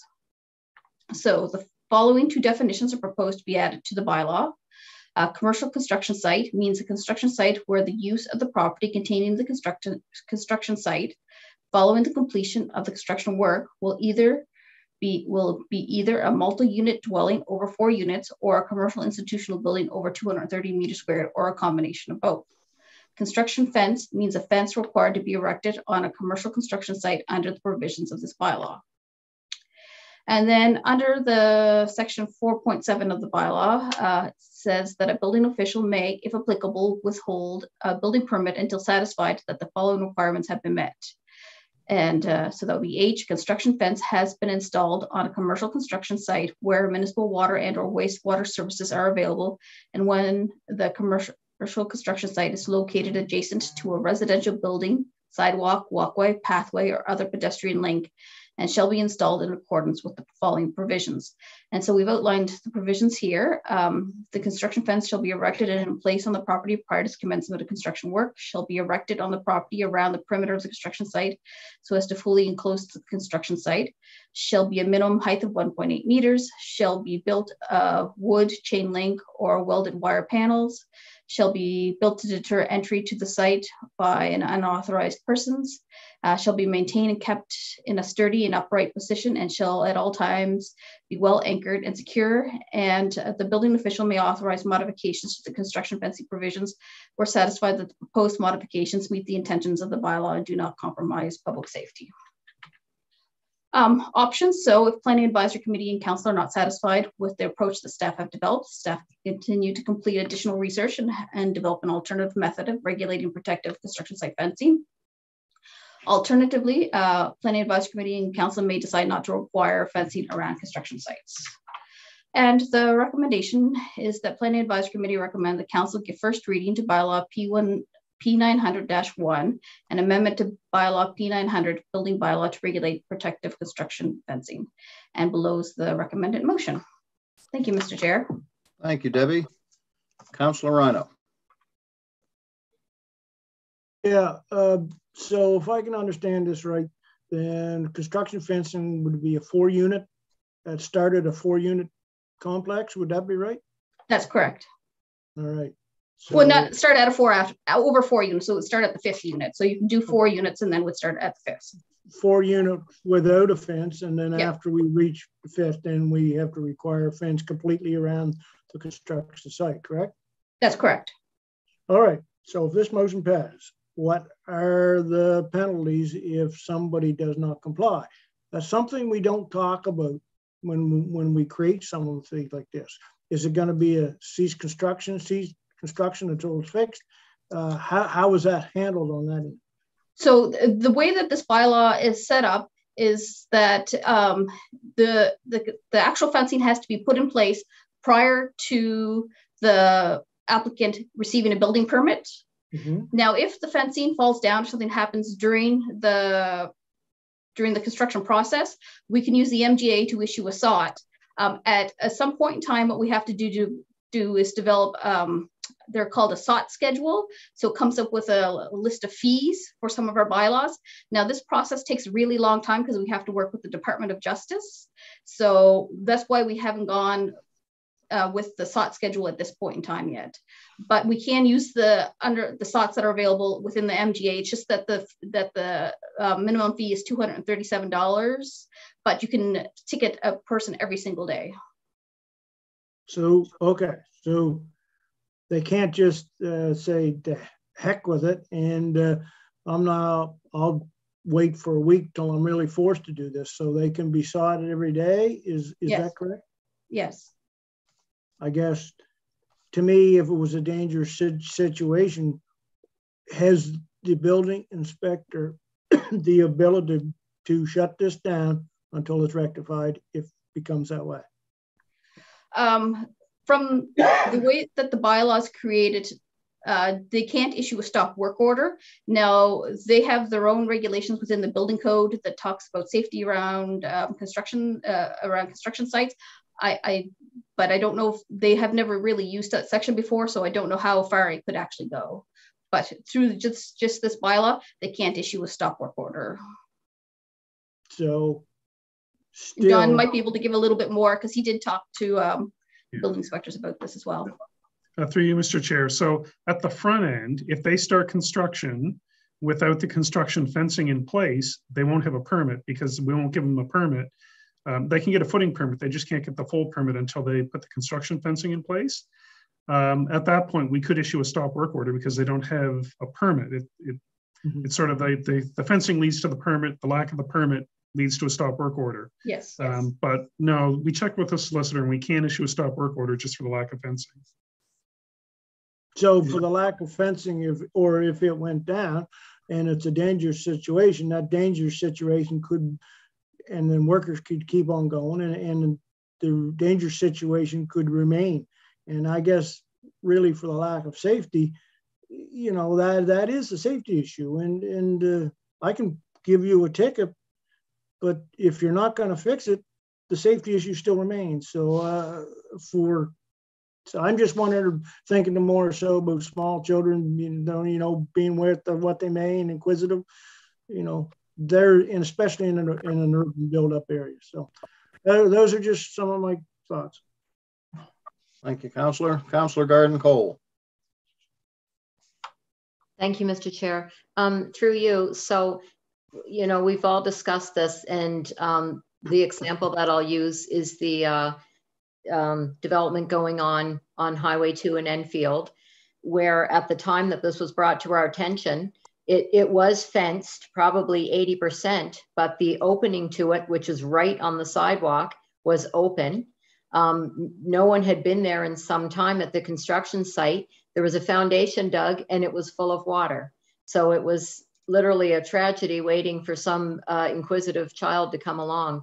Um, and reached out to the developer numerous times and came back with nothing. And finally, he put a bungee cord across to hold it, which in no way is secure. Um, so now, the most recent development at that particular site, who once again, there's been no development there in months, it's at a standstill, is they came last week and took all their fencing down.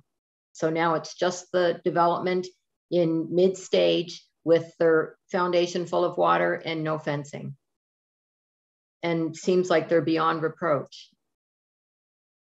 Debbie?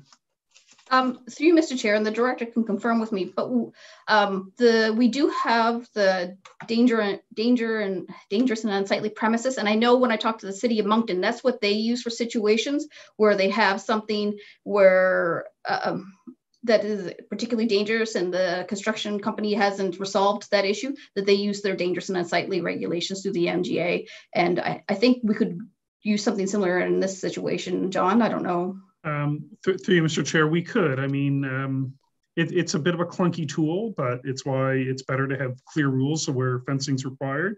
So I, I think this is a good change to the bylaw. But yeah, any dangerous situation on a property, we could use the MGA, the dangerous or unsightly premises provisions. Okay, because uh, you know I'm I'm liking what I'm reading there, and I appreciate what was done up. I'm I'm I'm assuming that when you say that it you use the word secure at the bottom end of that, that you're meaning like secure at the end. I know you might have meant secure as in you know standing securely, but also secure at the end of the workday when when the construction site is vacated. Um, but yeah, we don't want to be setting up rules that we aren't able to to enforce.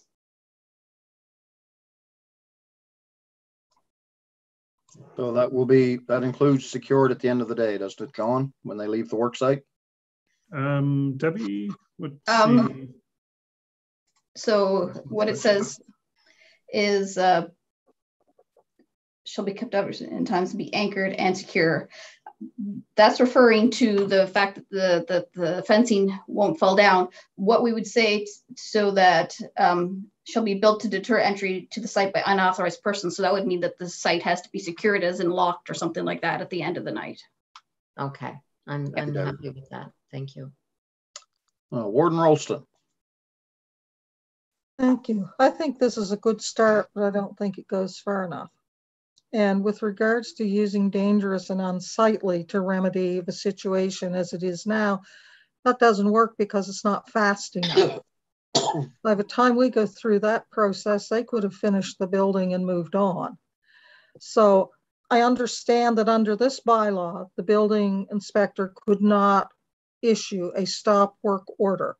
Can we create a bylaw where the building official could create a stop work order and issue a fine at the same time? And because I'm hearing we don't know, you know, it's going to take some time before we can figure out how much to fine them. So this isn't really helping us right now, even if we pass it, because obviously anyone who is in breach of this bylaw, we don't know how much to fine them. And another issue I have is that you withhold the building permit, which is fine, but often the dangerous situation would start when they put the footings in, when they excavate and put the footings in. So I think we need something that covers it right from the get-go. And there must be something under the MGA that would allow us to do that. Abby? Um, through you, Mr. Chair, just to clarify, a stop work order is only issued through the building National Building Code. That's how um, uh, building inspectors can do that, and through the Nova Scotia Building Act. So that's how they can issue stop work orders. In relation to um, SOTs and their schedules and their tickets, so the MGA has the ability for bylaws to issue SOTs. It's a fee of $237. It doesn't matter what it is. But um, what I'm referring to in, in relation to a Scott SOT, SOT schedule is a summary offense ticket schedule. We have to work with the Department of Justice and to, to, develop that SOT schedule. So it's it's just it's not that it's hard. It's just that it's a takes a long time to actually create that schedule and get it into the bylaw. And it was my understanding that um, that council had wanted the these regulations put in place at an earlier time. Um, the other thing when it comes to clearing land is that the land use bylaw doesn't have any regulations indicating that developers can't clear or prepare their land for development. So essentially, um, anybody, whether you're building a house or a commercial development or, or whatnot, you have the ability to go out, clear your land, and prep it for construction, whether that's um, digging a hole or or not.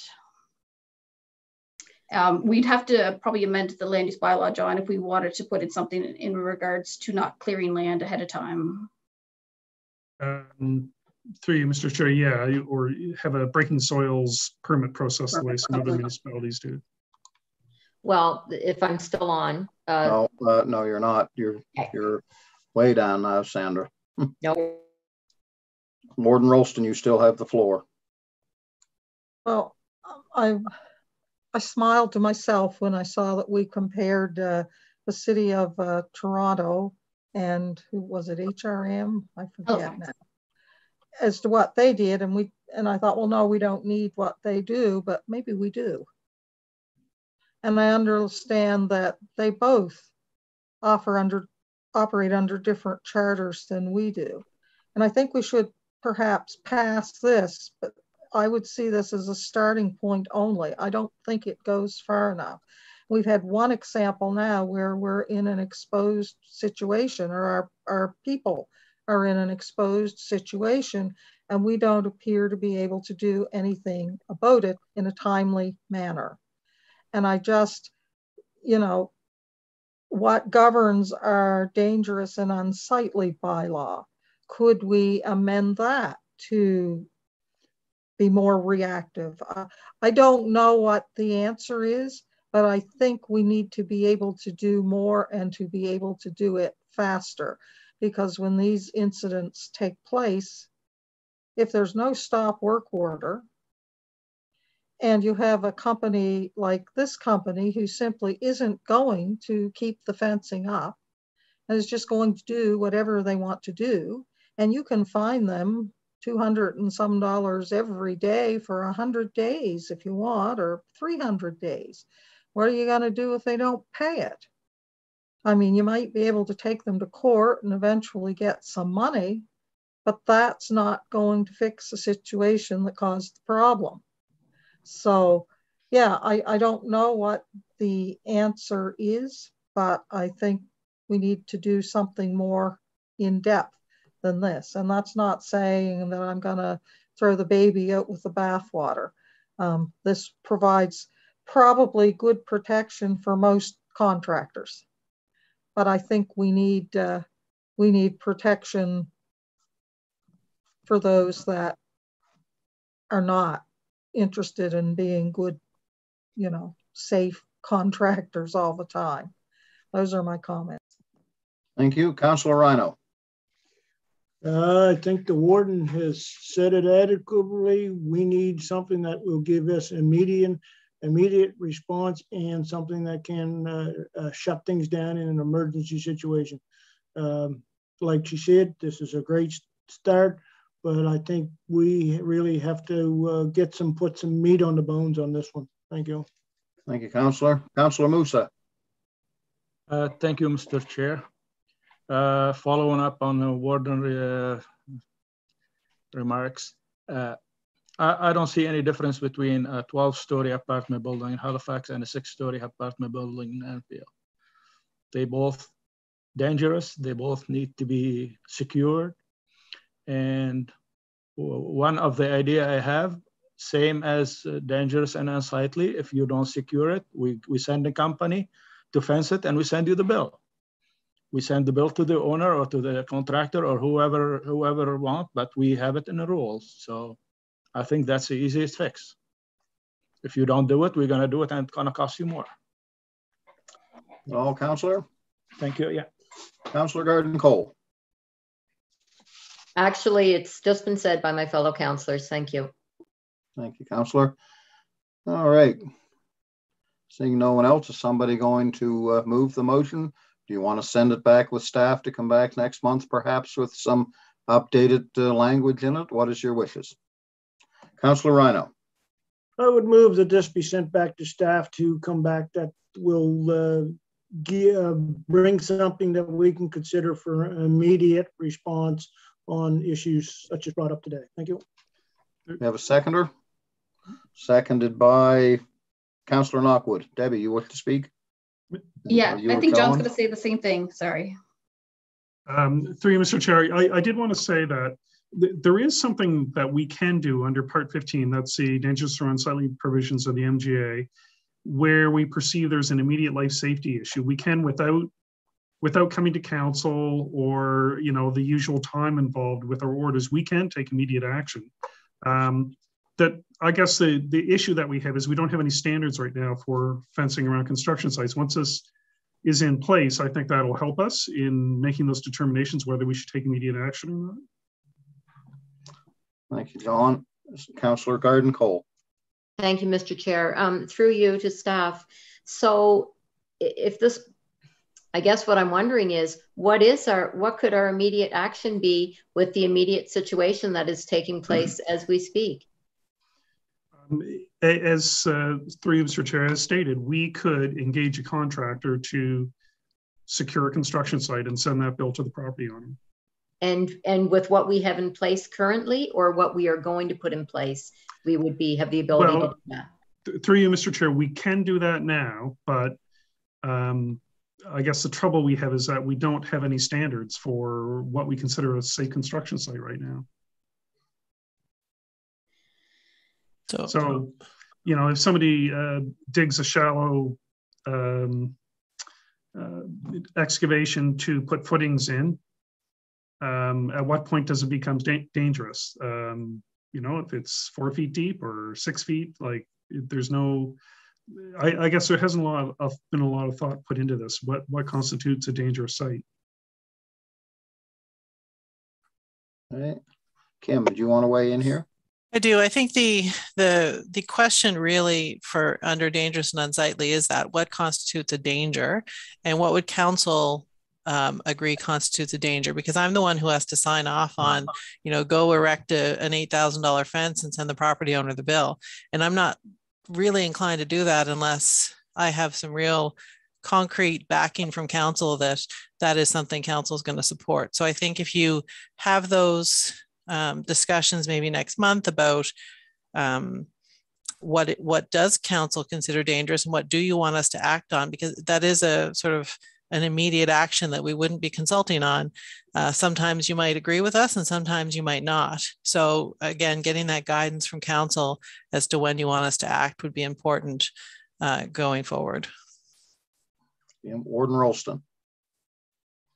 Yes, through you, Mr. Chair, I'm prepared to support um, Councillor Rhyno's motion to bring back a report or further information next month, but I don't think that precludes us giving first reading to this and then at least we're partway along the road should we decide giving first reading doesn't make it so but should we decide that this is part of the solution it moves us more quickly towards that. So i will be supporting the motion on the floor but i will then be moving the motion to give this first reading just simply to give us a leg up on the process. Thank you. Thank you warden. All right seeing no one else i'll be looking for question on the motion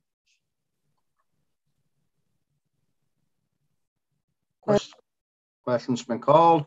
All in favor, signify by raising your right hand saying aye. Aye. And the motion is passed unanimously. Warden Roulston.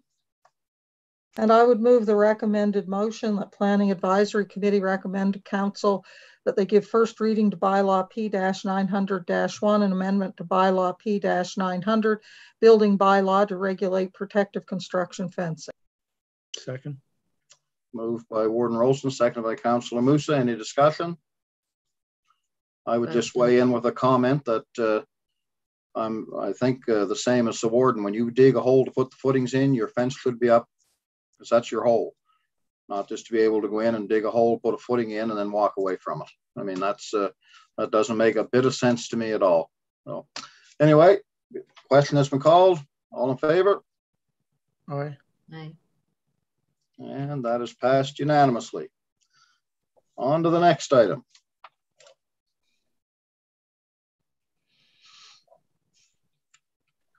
Plan update, floodlands background paper, and that's up for Rachel.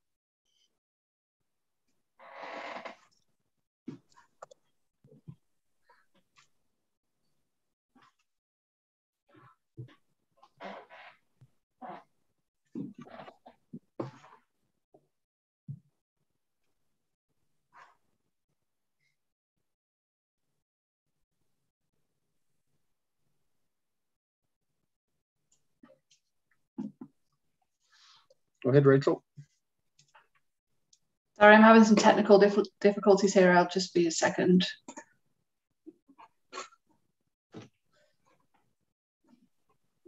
Okay, thank you, Mr. Chair.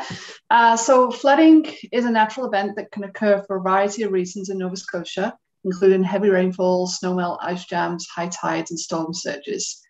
And the occurrence of flooding in Nova Scotia has resulted in the development of a statement of provincial interest regarding flood risk areas, and that's administered by uh, Municipal Affairs and Housing. East Hants has major, uh, multiple major rivers and waterways flowing through it, which has taken and has taken steps in the current planned area regarding floodproofing and development management. Uh, so in 2013, there was a floodplain study the Shubenacadie River and a portion of the Mile River, and this was an update of a previous uh, floodplain mapping study.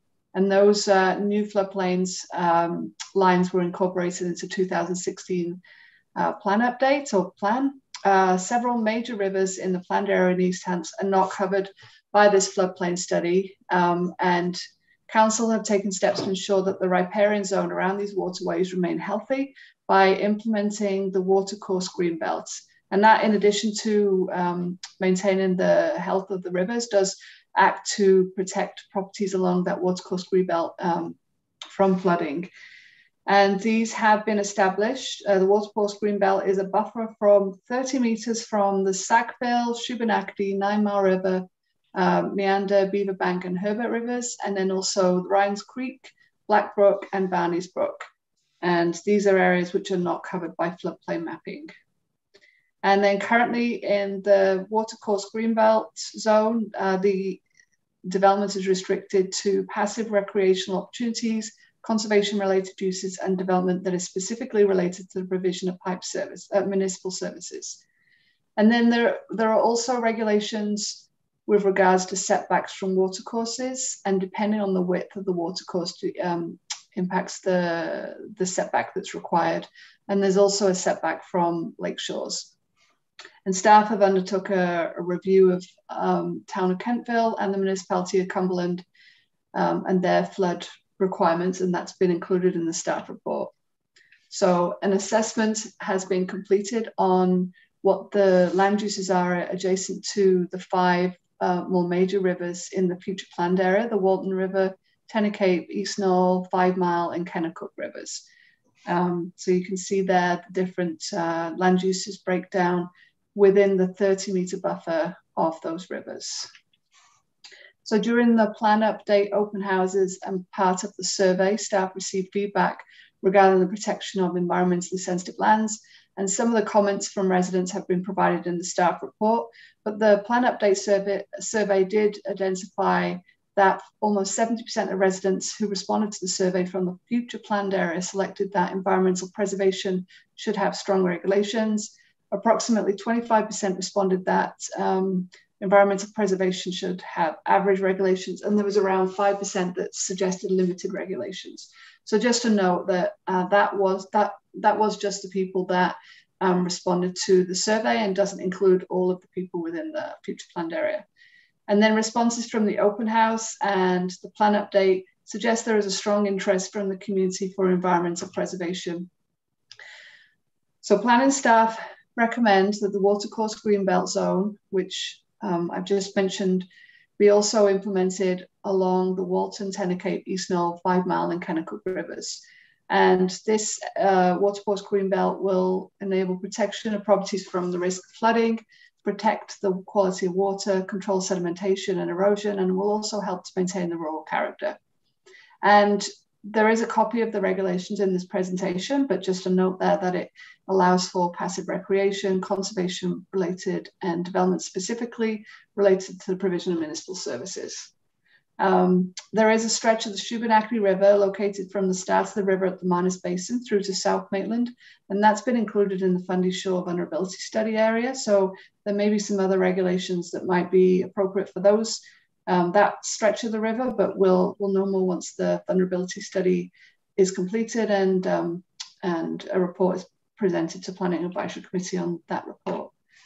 And here are the regulations for the watercourse greenbelt, and this has been included in the staff report as well. And there's a map here that just shows you the rivers that are proposed for these watercourse greenbelts to be applied. And it would also include the Shubenacadie River, um, I'm not going to name them all because I've already mentioned them, but they're all there on, on the map.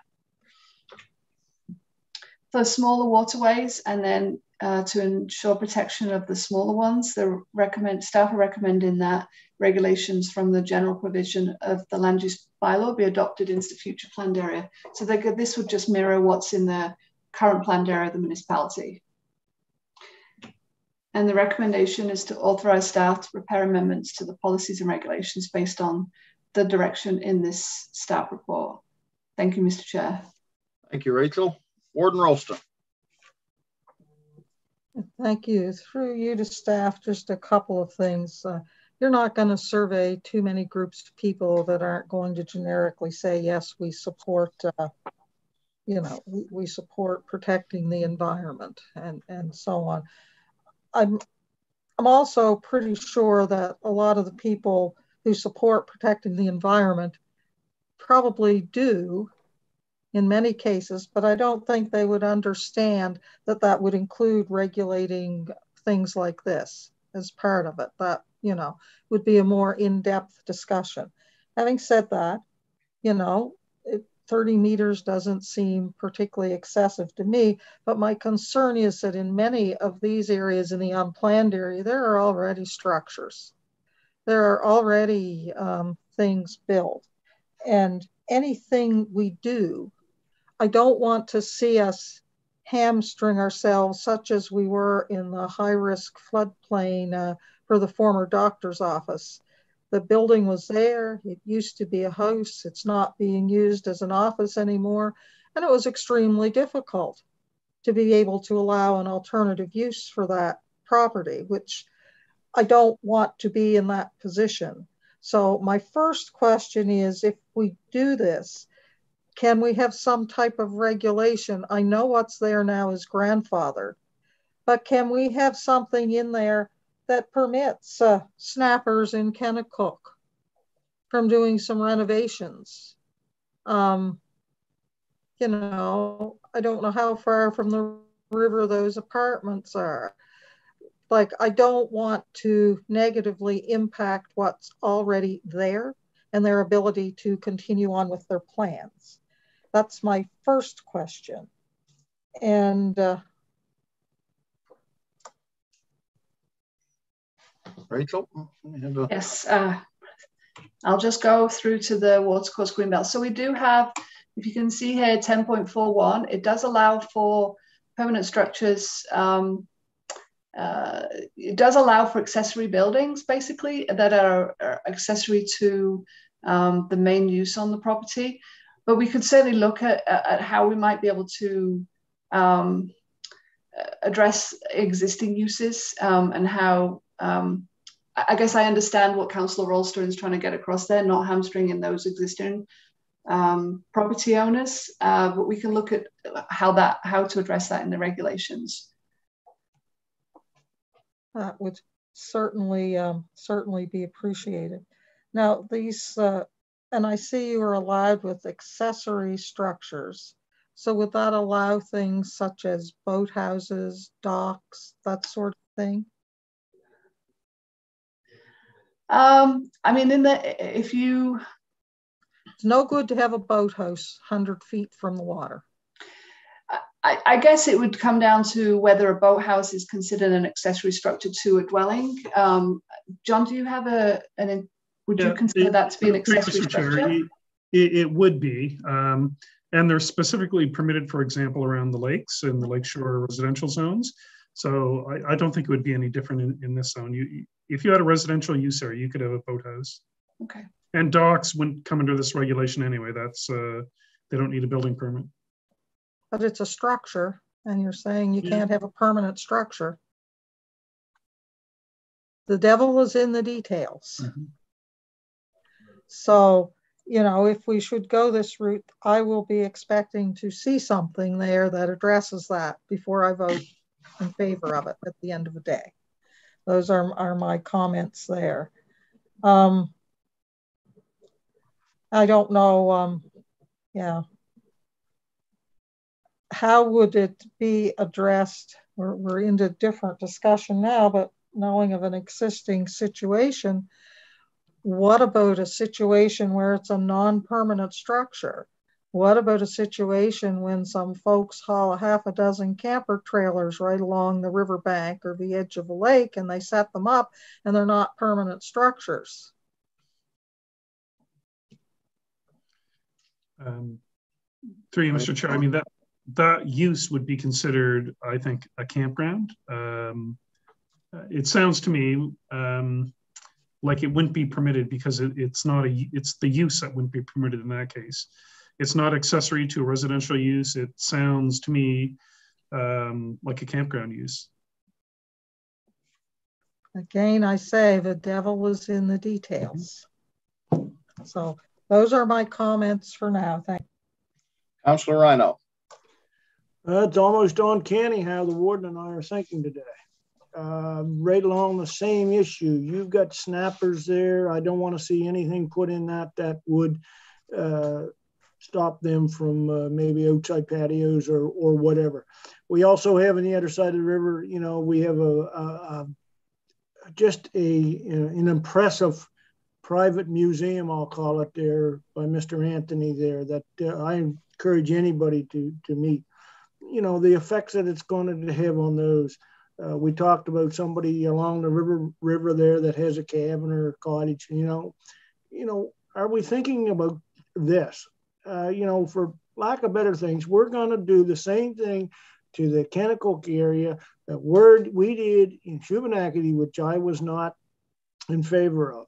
And has any consideration been given to how that will affect uh, property assessments and and uh, insurance values and things like that when we go and we put start on with regulations such as we're heading down the road for. Thank you, Councillor. Uh, Councillor Knockwood. Okay, um, okay, there we go. Um, you say 30 meters on both sides of the river of the Shubenacadie?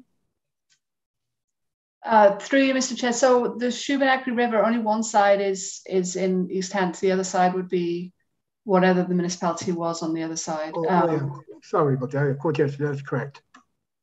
But um, can I get a overview of what 30 meters is actually is um, on the east hand side of the river of Shubenacadie in the village of Shubenacadie? Can I get an over like in District 4? So um, through Mr. So that the uh, the floodplain mapping goes up to approximately where the 102 crosses over. Um, and then from there upwards, it's the watercourse greenbelt. If if the, I I'll just um, leave the presentation for a second and bring up my mapping program so I can show. The reason why I'm saying this is um, the doctor's office seems way farther than 30 meters. Through Mr. Chair, that's that's actually within the floodplain. Um, this is a different thing. The the floodplain was identified based on modeling and surveys of the river and a number of different things that the consultant did to identify where those flood lines should be located. What we're talking about here is the watercourse greenbelt, where we these are areas where we don't know where um, we don't have information on where, where flooding might occur. So we're asking for or recommending a 30 meter buffer um, and say that in some areas the flooding area might be further than the 30 meters, it might be less, but we just don't know. So we've got this 30 meter buffer. But um, I can bring up the map to show other areas where this 30 meter buffer has been applied, yeah. so you can kind of get a feel for yeah. what that looks like. Well, I didn't hear the, the extension of the floodplain, so I just going on what I heard and what I read here in this report. So. Um,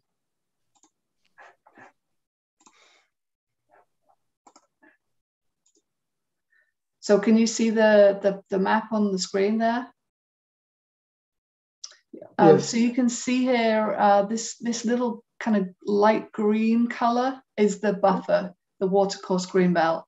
And this is the 102, and this is the very edge of the floodplain mapping just here.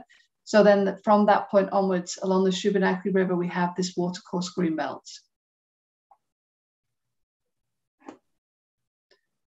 And so through Mr. Chair, the proposal would be that would extend up further. So Rachel, if you could scroll up, you can see where it ends, uh, where zoning ends. There is no buffer beyond that point. Yes.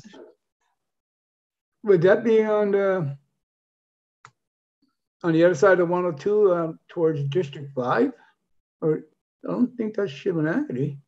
Shubenacadie is just is just south of here. I'm I'm just scrolling up the map here to show you where the edge of the watercourse greenbelt runs. Um, so you can see here it extends along this portion and then it continues up the Shubenacadie River um, if I zoom out too much, you won't be able to Yeah, see. you. Uh, Essentially, it goes up to where the edge of the um, uh, the Oh, unplanned well, unplanned well, area the way, is. The way out of Shubenacadie, the village of Shubenacadie Yes. now, you're in Malone Right. Road, the way up Ryan's Creek and uh, further. through you, Mr. Chair, this was just to show you that what that watercourse greenbelt looks like. In Shubenacadie itself, uh, Yes. we're, we're, we're looking at the this the floodplain that's been implemented. So the watercourse greenbelt doesn't apply to the village of Shubenacadie. It's south of the 102 is um, floodplain zoning. I'm just going to come back to the Shuben, uh, to Shubenacadie village.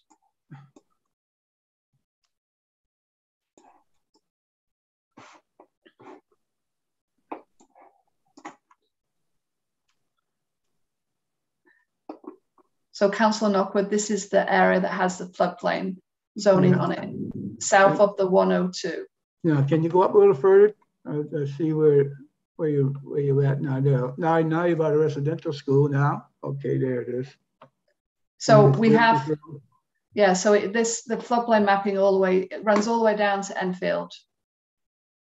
Okay, the lighter blue is the, the thirty meters, right? N- No, that, that this lighter blue, is this the blue we're talking about? Is, is actually the Shubenacadie River. Oh, that's the Shubenacadie River. Yeah. So through you, Mr. Chair, again, the, that 30 meter buffer doesn't exist here because we have detailed mapping. And as you can see, in most cases, it's much further than 30 meters. It's, uh, in some cases, it'd be more than 100 meters. So the floodplain extends past Snides Lake. Is that, am I correct there? I'm just going to scroll up again. Yeah, that, that's correct, Mr. Chair. That darker uh, greenish blue color is all high-risk floodplain. High risk floodplain. Yeah. Wow. That, that goes a long ways on the river. I think that's too far myself. Now I'm looking at it now. First time I get to see this map. Right up to Mitchell's Roads. Okay. Okay, thank you. I got it now. Thank you. Uh, That's all, Councillor Knockwood? Yes. Councillor Moussa? You're muted, Councillor. Thank you, Mr. Chair. Uh, John uh, or Rachel, uh, aren't those regulation already in the, with the Department of Environment? Like the 30 meters? Uh, through Mr. Chair, no, these are our um, these are our regulations in our land use bylaw. Yeah, but but uh, I I know I know in Mount Uniacke with the lakes and stuff like uh, the Department of Environment have a 30 meter setback. Aren't those uh, in in all Nova Scotia or just in certain areas or? I'm I'm not familiar with the Nova Scotia environment regulations, but in Mount Uniacke there are setbacks, 30 meter setbacks from um, lake shores, and um, and and uh, the Sackville River as well. But I- I'm not familiar with any environment regulations. I think those if, if those Department of uh, Environment have those regulations, so we're not adding anything. Mm, Through, you- through you, Mr. Chair, I, I don't think so. I don't, tho- those are municipal zoning regulations. Um, There, there are regulations about forestry operations near water courses provincially, and they have regulations about shoreline alteration and so on, but I don't think they just have a standard 30 meter setback the way these regulations would require. No, I don't know, but I, I was told by Kelly one day that you cannot, the, the Department of Environment, you have to have acceptance to be able to build closer to the lake from 30 meters, not from us. Uh, Through Mr. Chair, that may be related to a septic system within that 30 meter. There, there may be a buffer for that. Structure, no, no, the structure. That's what she told me. So I think we're not adding anything of that all across the board, Nova Scotia. Um, We, we can double check, but I I don't think that's a provincial regulation. Okay, thank you. Okay, anyone else for discussion? What are your wishes? Is anybody prepared to move the recommended motion? Warden Roulston. Sort of. Pardon? Sort of. Um, I move that uh, planning advisory recommend that council authorize staff to prepare land use policies and regulations for floodlands based on the direction in staff's report dated January 5th, 2022, also taking into account the discussion around pre-existing structures and uh, structures that might not be considered permanent. Have a mover, do we have a seconder for that? Seconded by Councillor Garden Cole. Any discussion on the motion? Seeing none, Councillor Rhyno. Just to make sure that these policies will be created and brought back for review. Yes, she'll come back. Will they not, Rachel? Yeah, yeah, sorry, I was just going to say through you, Mr. Chair, that they will, any policies and regulations that are drafted will come back for review. Thank you. Thank you. Seeing no one else, be looking for the question. Question. Question's been called. We'll go to the vote. All in favor? The motion is passed unanimously. On to the next item.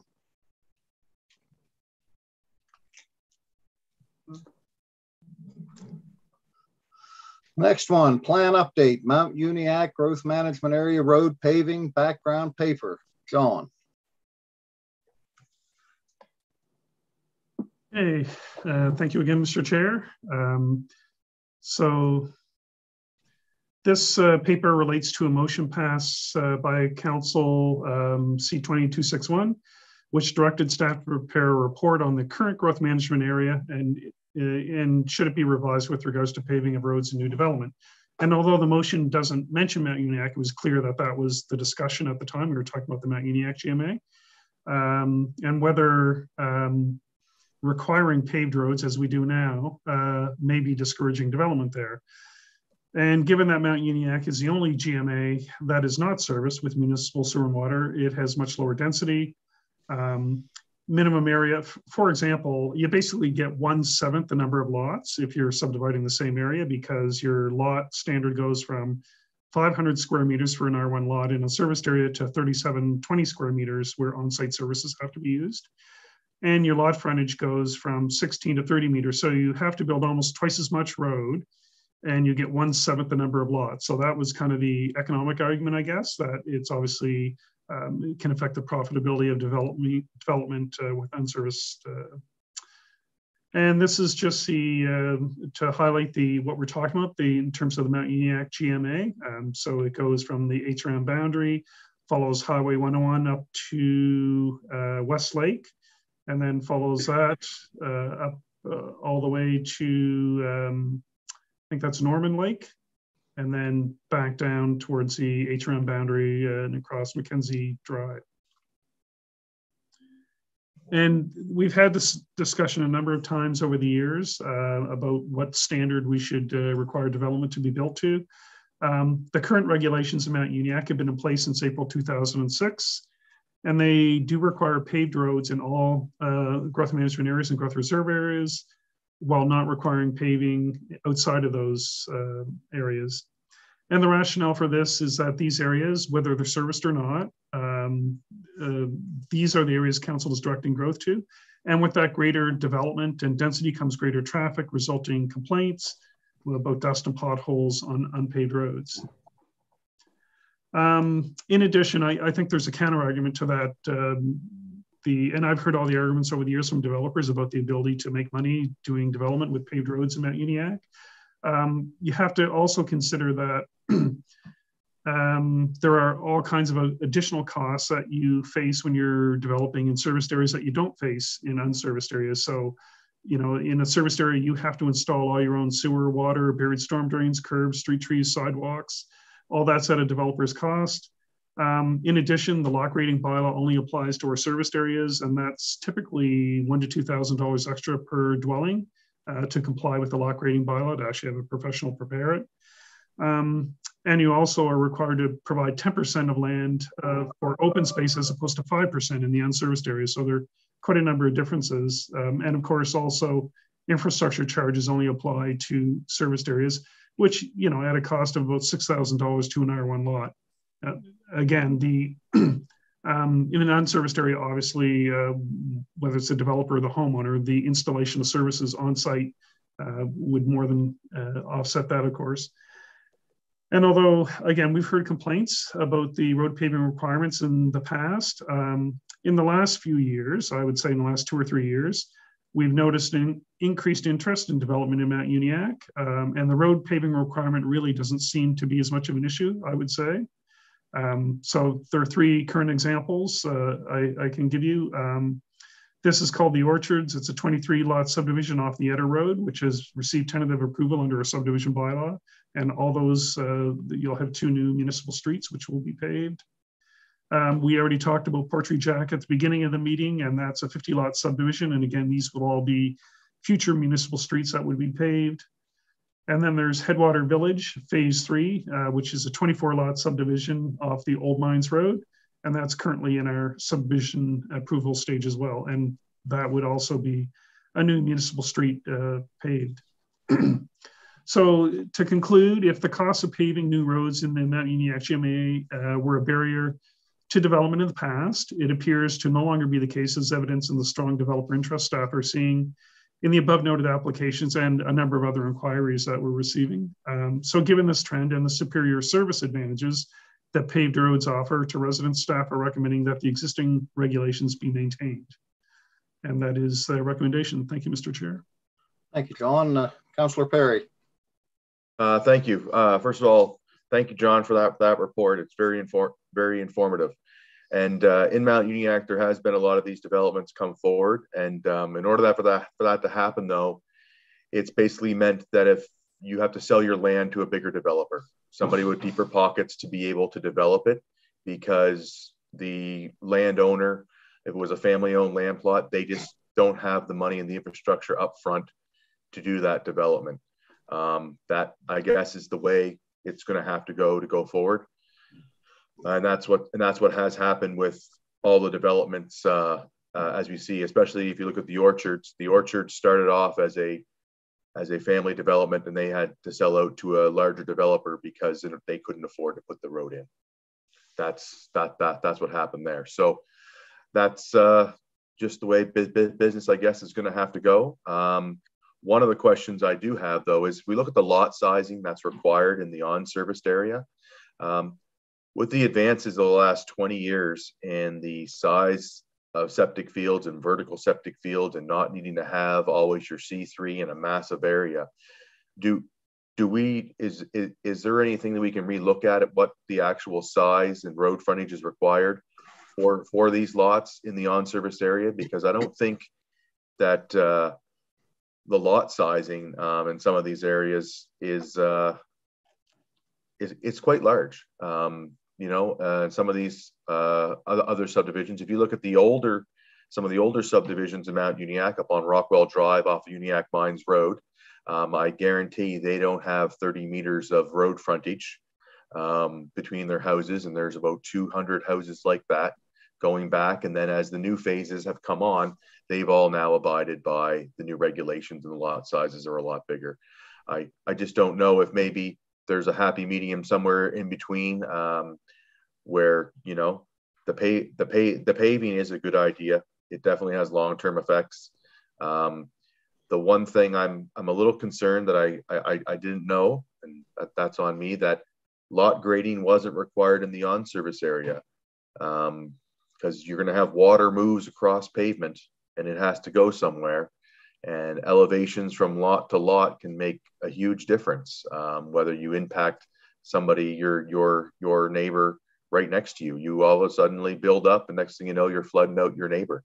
Um, we've had instances of that, and it's come forward at council from developments historically that have happened within the corridor, and the people are dealing with it day to day of you know a poor drainage plan. Um, I think that's something else that we might need to look at in the future to ensure that those those lessons that we learned from older developments in the corridor where paved roads and everything have happened and the movement of wastewater, uh, even if there's no storm system, um, need to be looked at. But uh, that's what I have to say about that. Thank you. Thank you, Councillor. Councillor Moussa. Uh, thank you, Mr. Chair. Uh, to add to Councillor Perry's comments, yeah, you're right, uh, Councillor, like only big developer can afford now to put subdivision in there. And uh, John, the two, so I agree with you on some on some areas like where uh, if you can show the the subdivision approved, like not the South Uniacke one, the one on Rock behind Rockwell Drive. Mm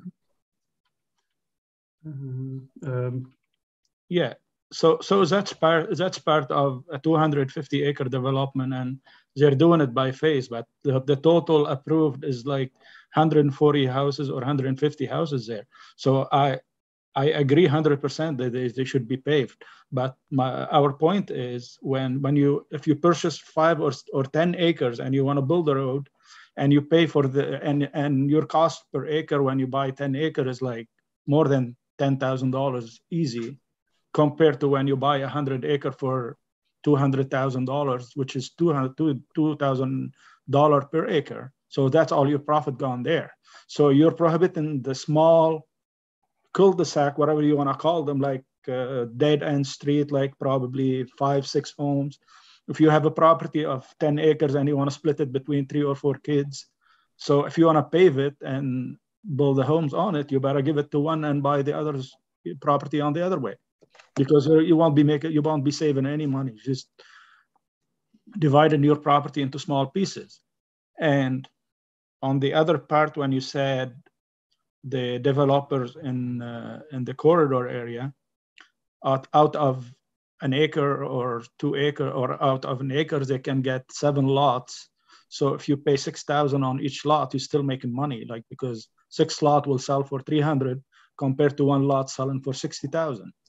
So, so you cannot compare those two together. I, I don't know. To me, I cannot compare the because there's big difference. Plus, those lot owners are paying paying sixty or seventy thousand dollars now. They still have to put twenty thousand dollars for septic and ten thousand dollars for a well and stuff. Mm-hmm. So it's we, we, one one week we talk about affordable homes, and if you if the price of a lot gonna go up to a hundred thousand dollars before you start construction, that's not gonna be affordable to even put a trailer on. I heard the trailer on Mount Uniacke now on half an acre lake lot is for $310, $320,000. So if we want to think affordable, we have to make smaller size lots I know I have property in Sackville just down the road, probably on the other line, on the other side of the line between Halifax County. I could subdivide it and 20,000 acres, 20,000 square feet lots with sewer, uh, with the septic and well. So I don't have any services. So on one side, we have one acre on, and if, if even if we put down our requirement to 20,000, it's still gonna pass the uh, per test for the environment. So if you need more, they'll force you to put more. Like, but the minimum with us should be set lower, and then the Department of Environment could take it from there and suggest what size lot can you put in. I think that's how it works. I don't know if I'm wrong. Correct me if I'm wrong. Um, I, am not sure about HRM, but um, I mean, we can look at their lot standard uh, for unserviced development and yeah, uh, yeah, I, I, think what we've done over the years, we've just, through you, Mr. Chair, we've just tracked the provincial uh, subdivision regulations. And as actually, this development is kind of an interesting one because you can see the changes on the first part of Rockwell Drive. Uh, you know, the lots are much smaller, and then you know when they got to phase two, they they went up in size. You know, what are those? Uh, probably five times the size of the original lots. Um, but but we can look at we can look at that standard to see. I, I mean, obviously, there's more risk uh, the the smaller you get your lots uh, in an unserviced area where you have to rely on your own well and septic system.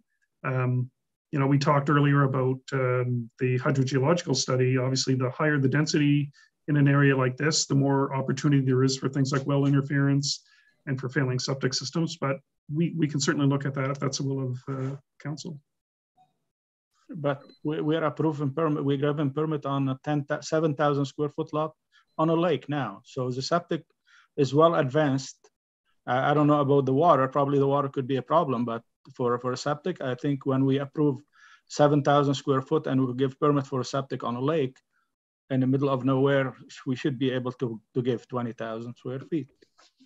So that's my point. I don't know about septic council, what they want, what they want to see in the growth management area. Plus one, one more thing, I, I really have a problem with, with the area itself because on one side you have one street, like let's say Mackenzie Lane.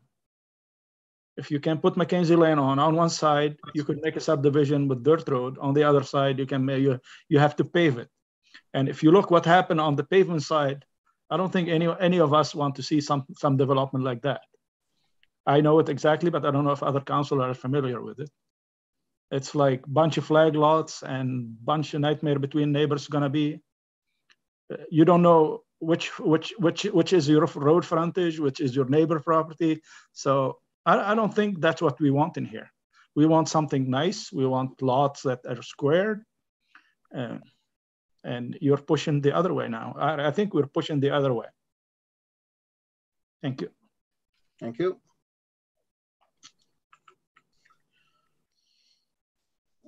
Anyone else to comment?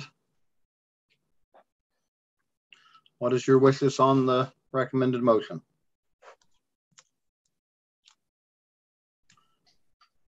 Councillor Rhyno. You're muted, Councillor.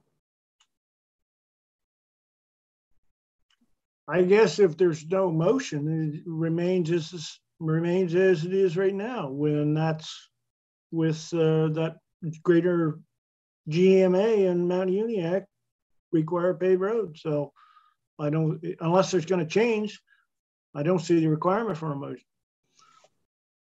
I guess, Mr. Chair, we, we put a motion or a draft motion there because um, um, there was there was a motion directing us to do something. So this is kind of the conclusion of it. But but you're right, uh, or Councillor Rhyno is correct that if there's no motion coming forward as this, the regulations just stay the way they are.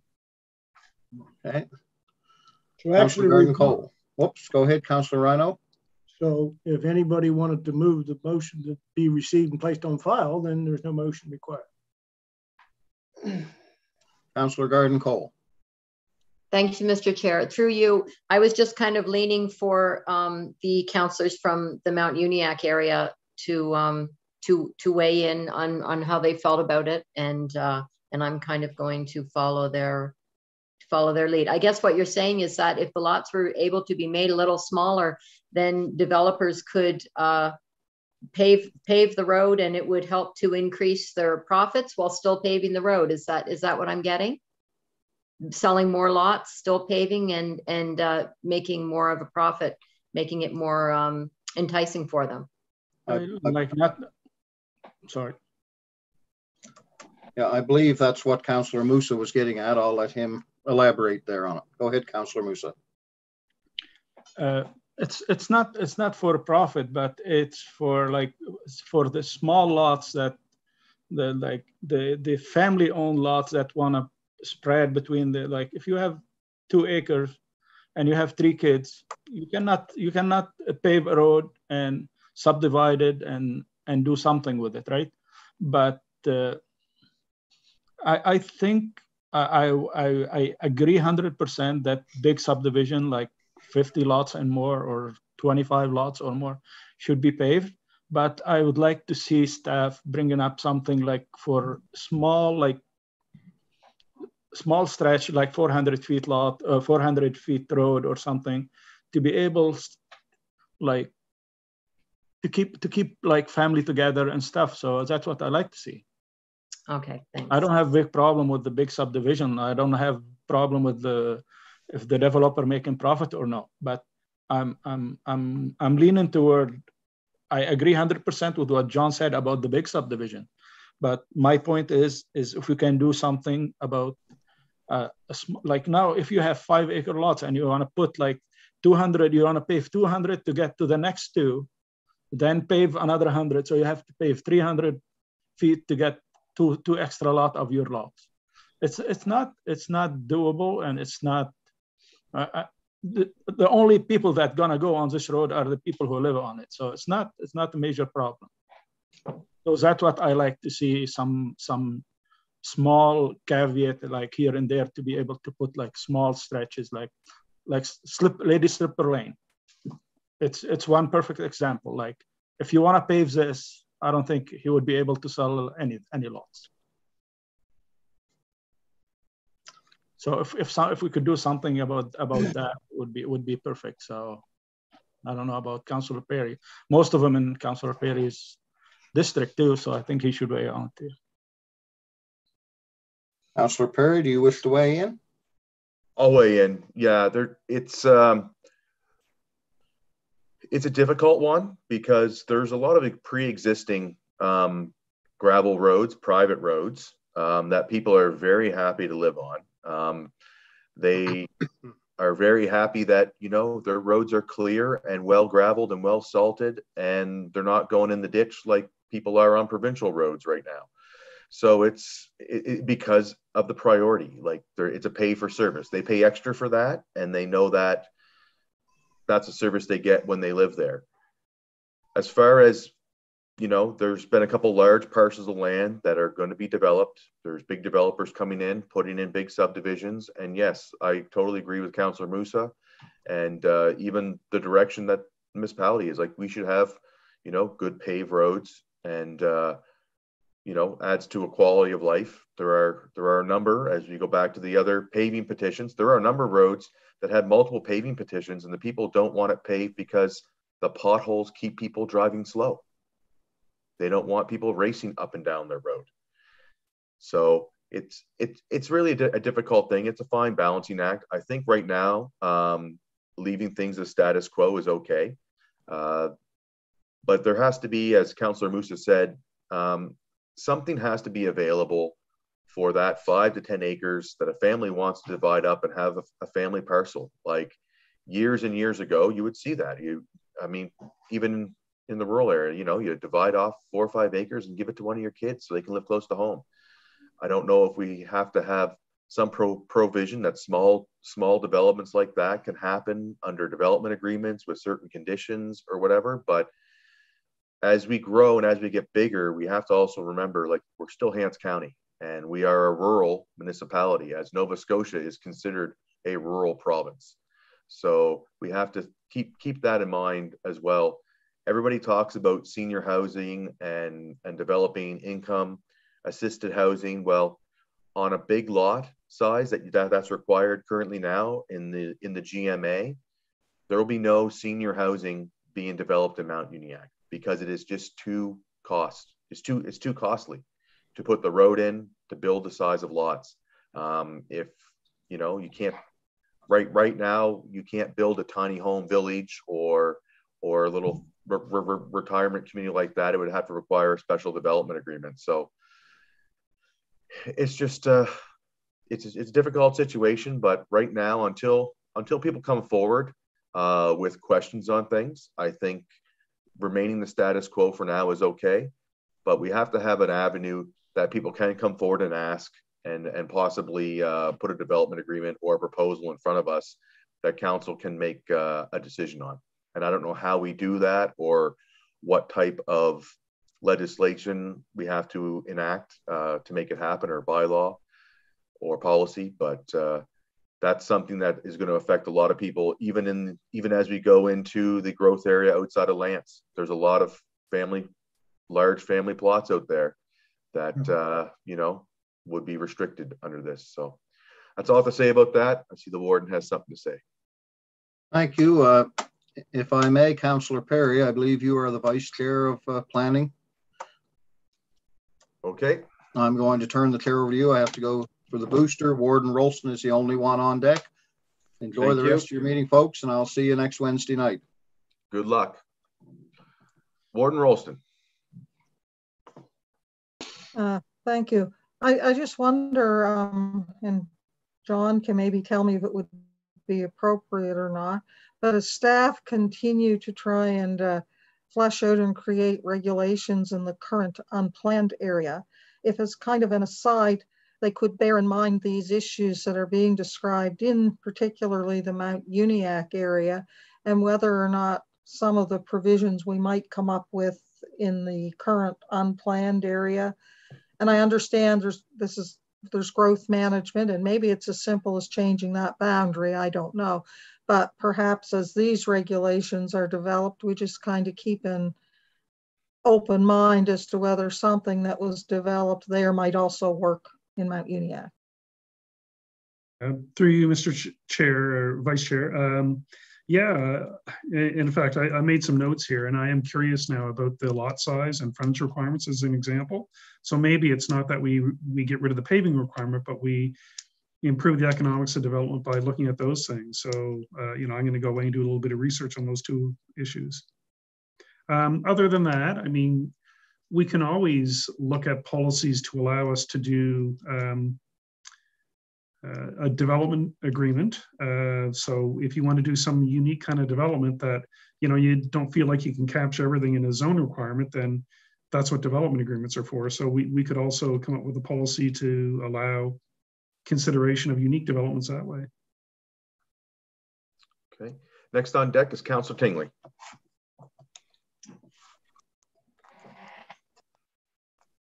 If I had my head up or hand up, it was just to scratch my head. I've, I've oh. got no questions or comments. Oh, sorry. That's it. Anybody else? All right. I guess we'll just uh, file this away. Thank you for the report, and we'll move on to uh, oh, uh, Councillor Garden Cole.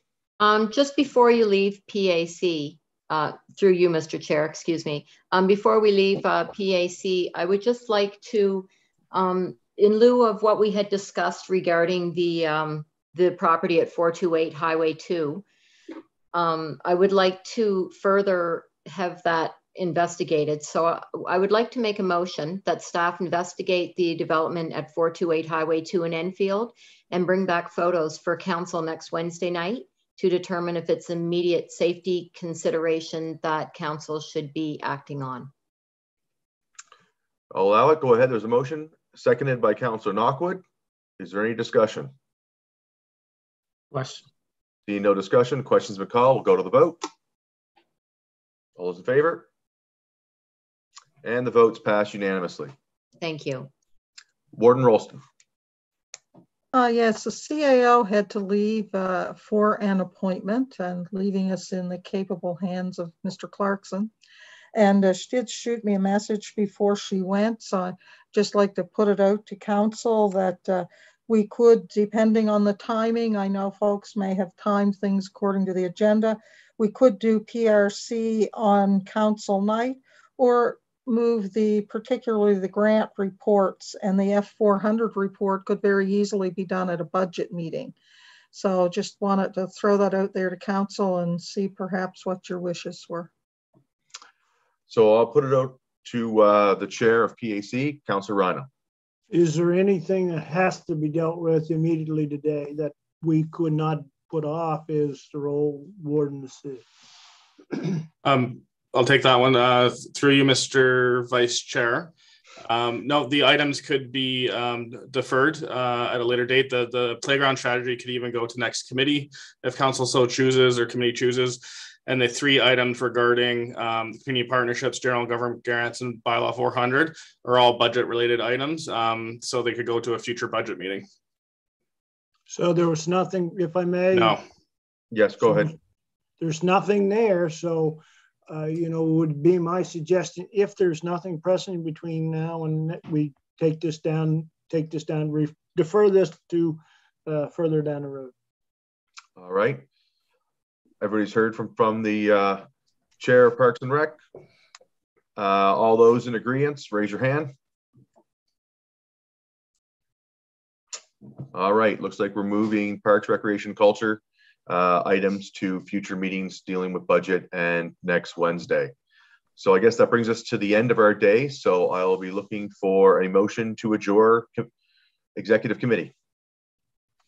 Moved by Councillor Knockwood, seconded by Councilor Rhyno. All those in favor? Aye. All right. We are adjourned. Thank you, ladies and gentlemen.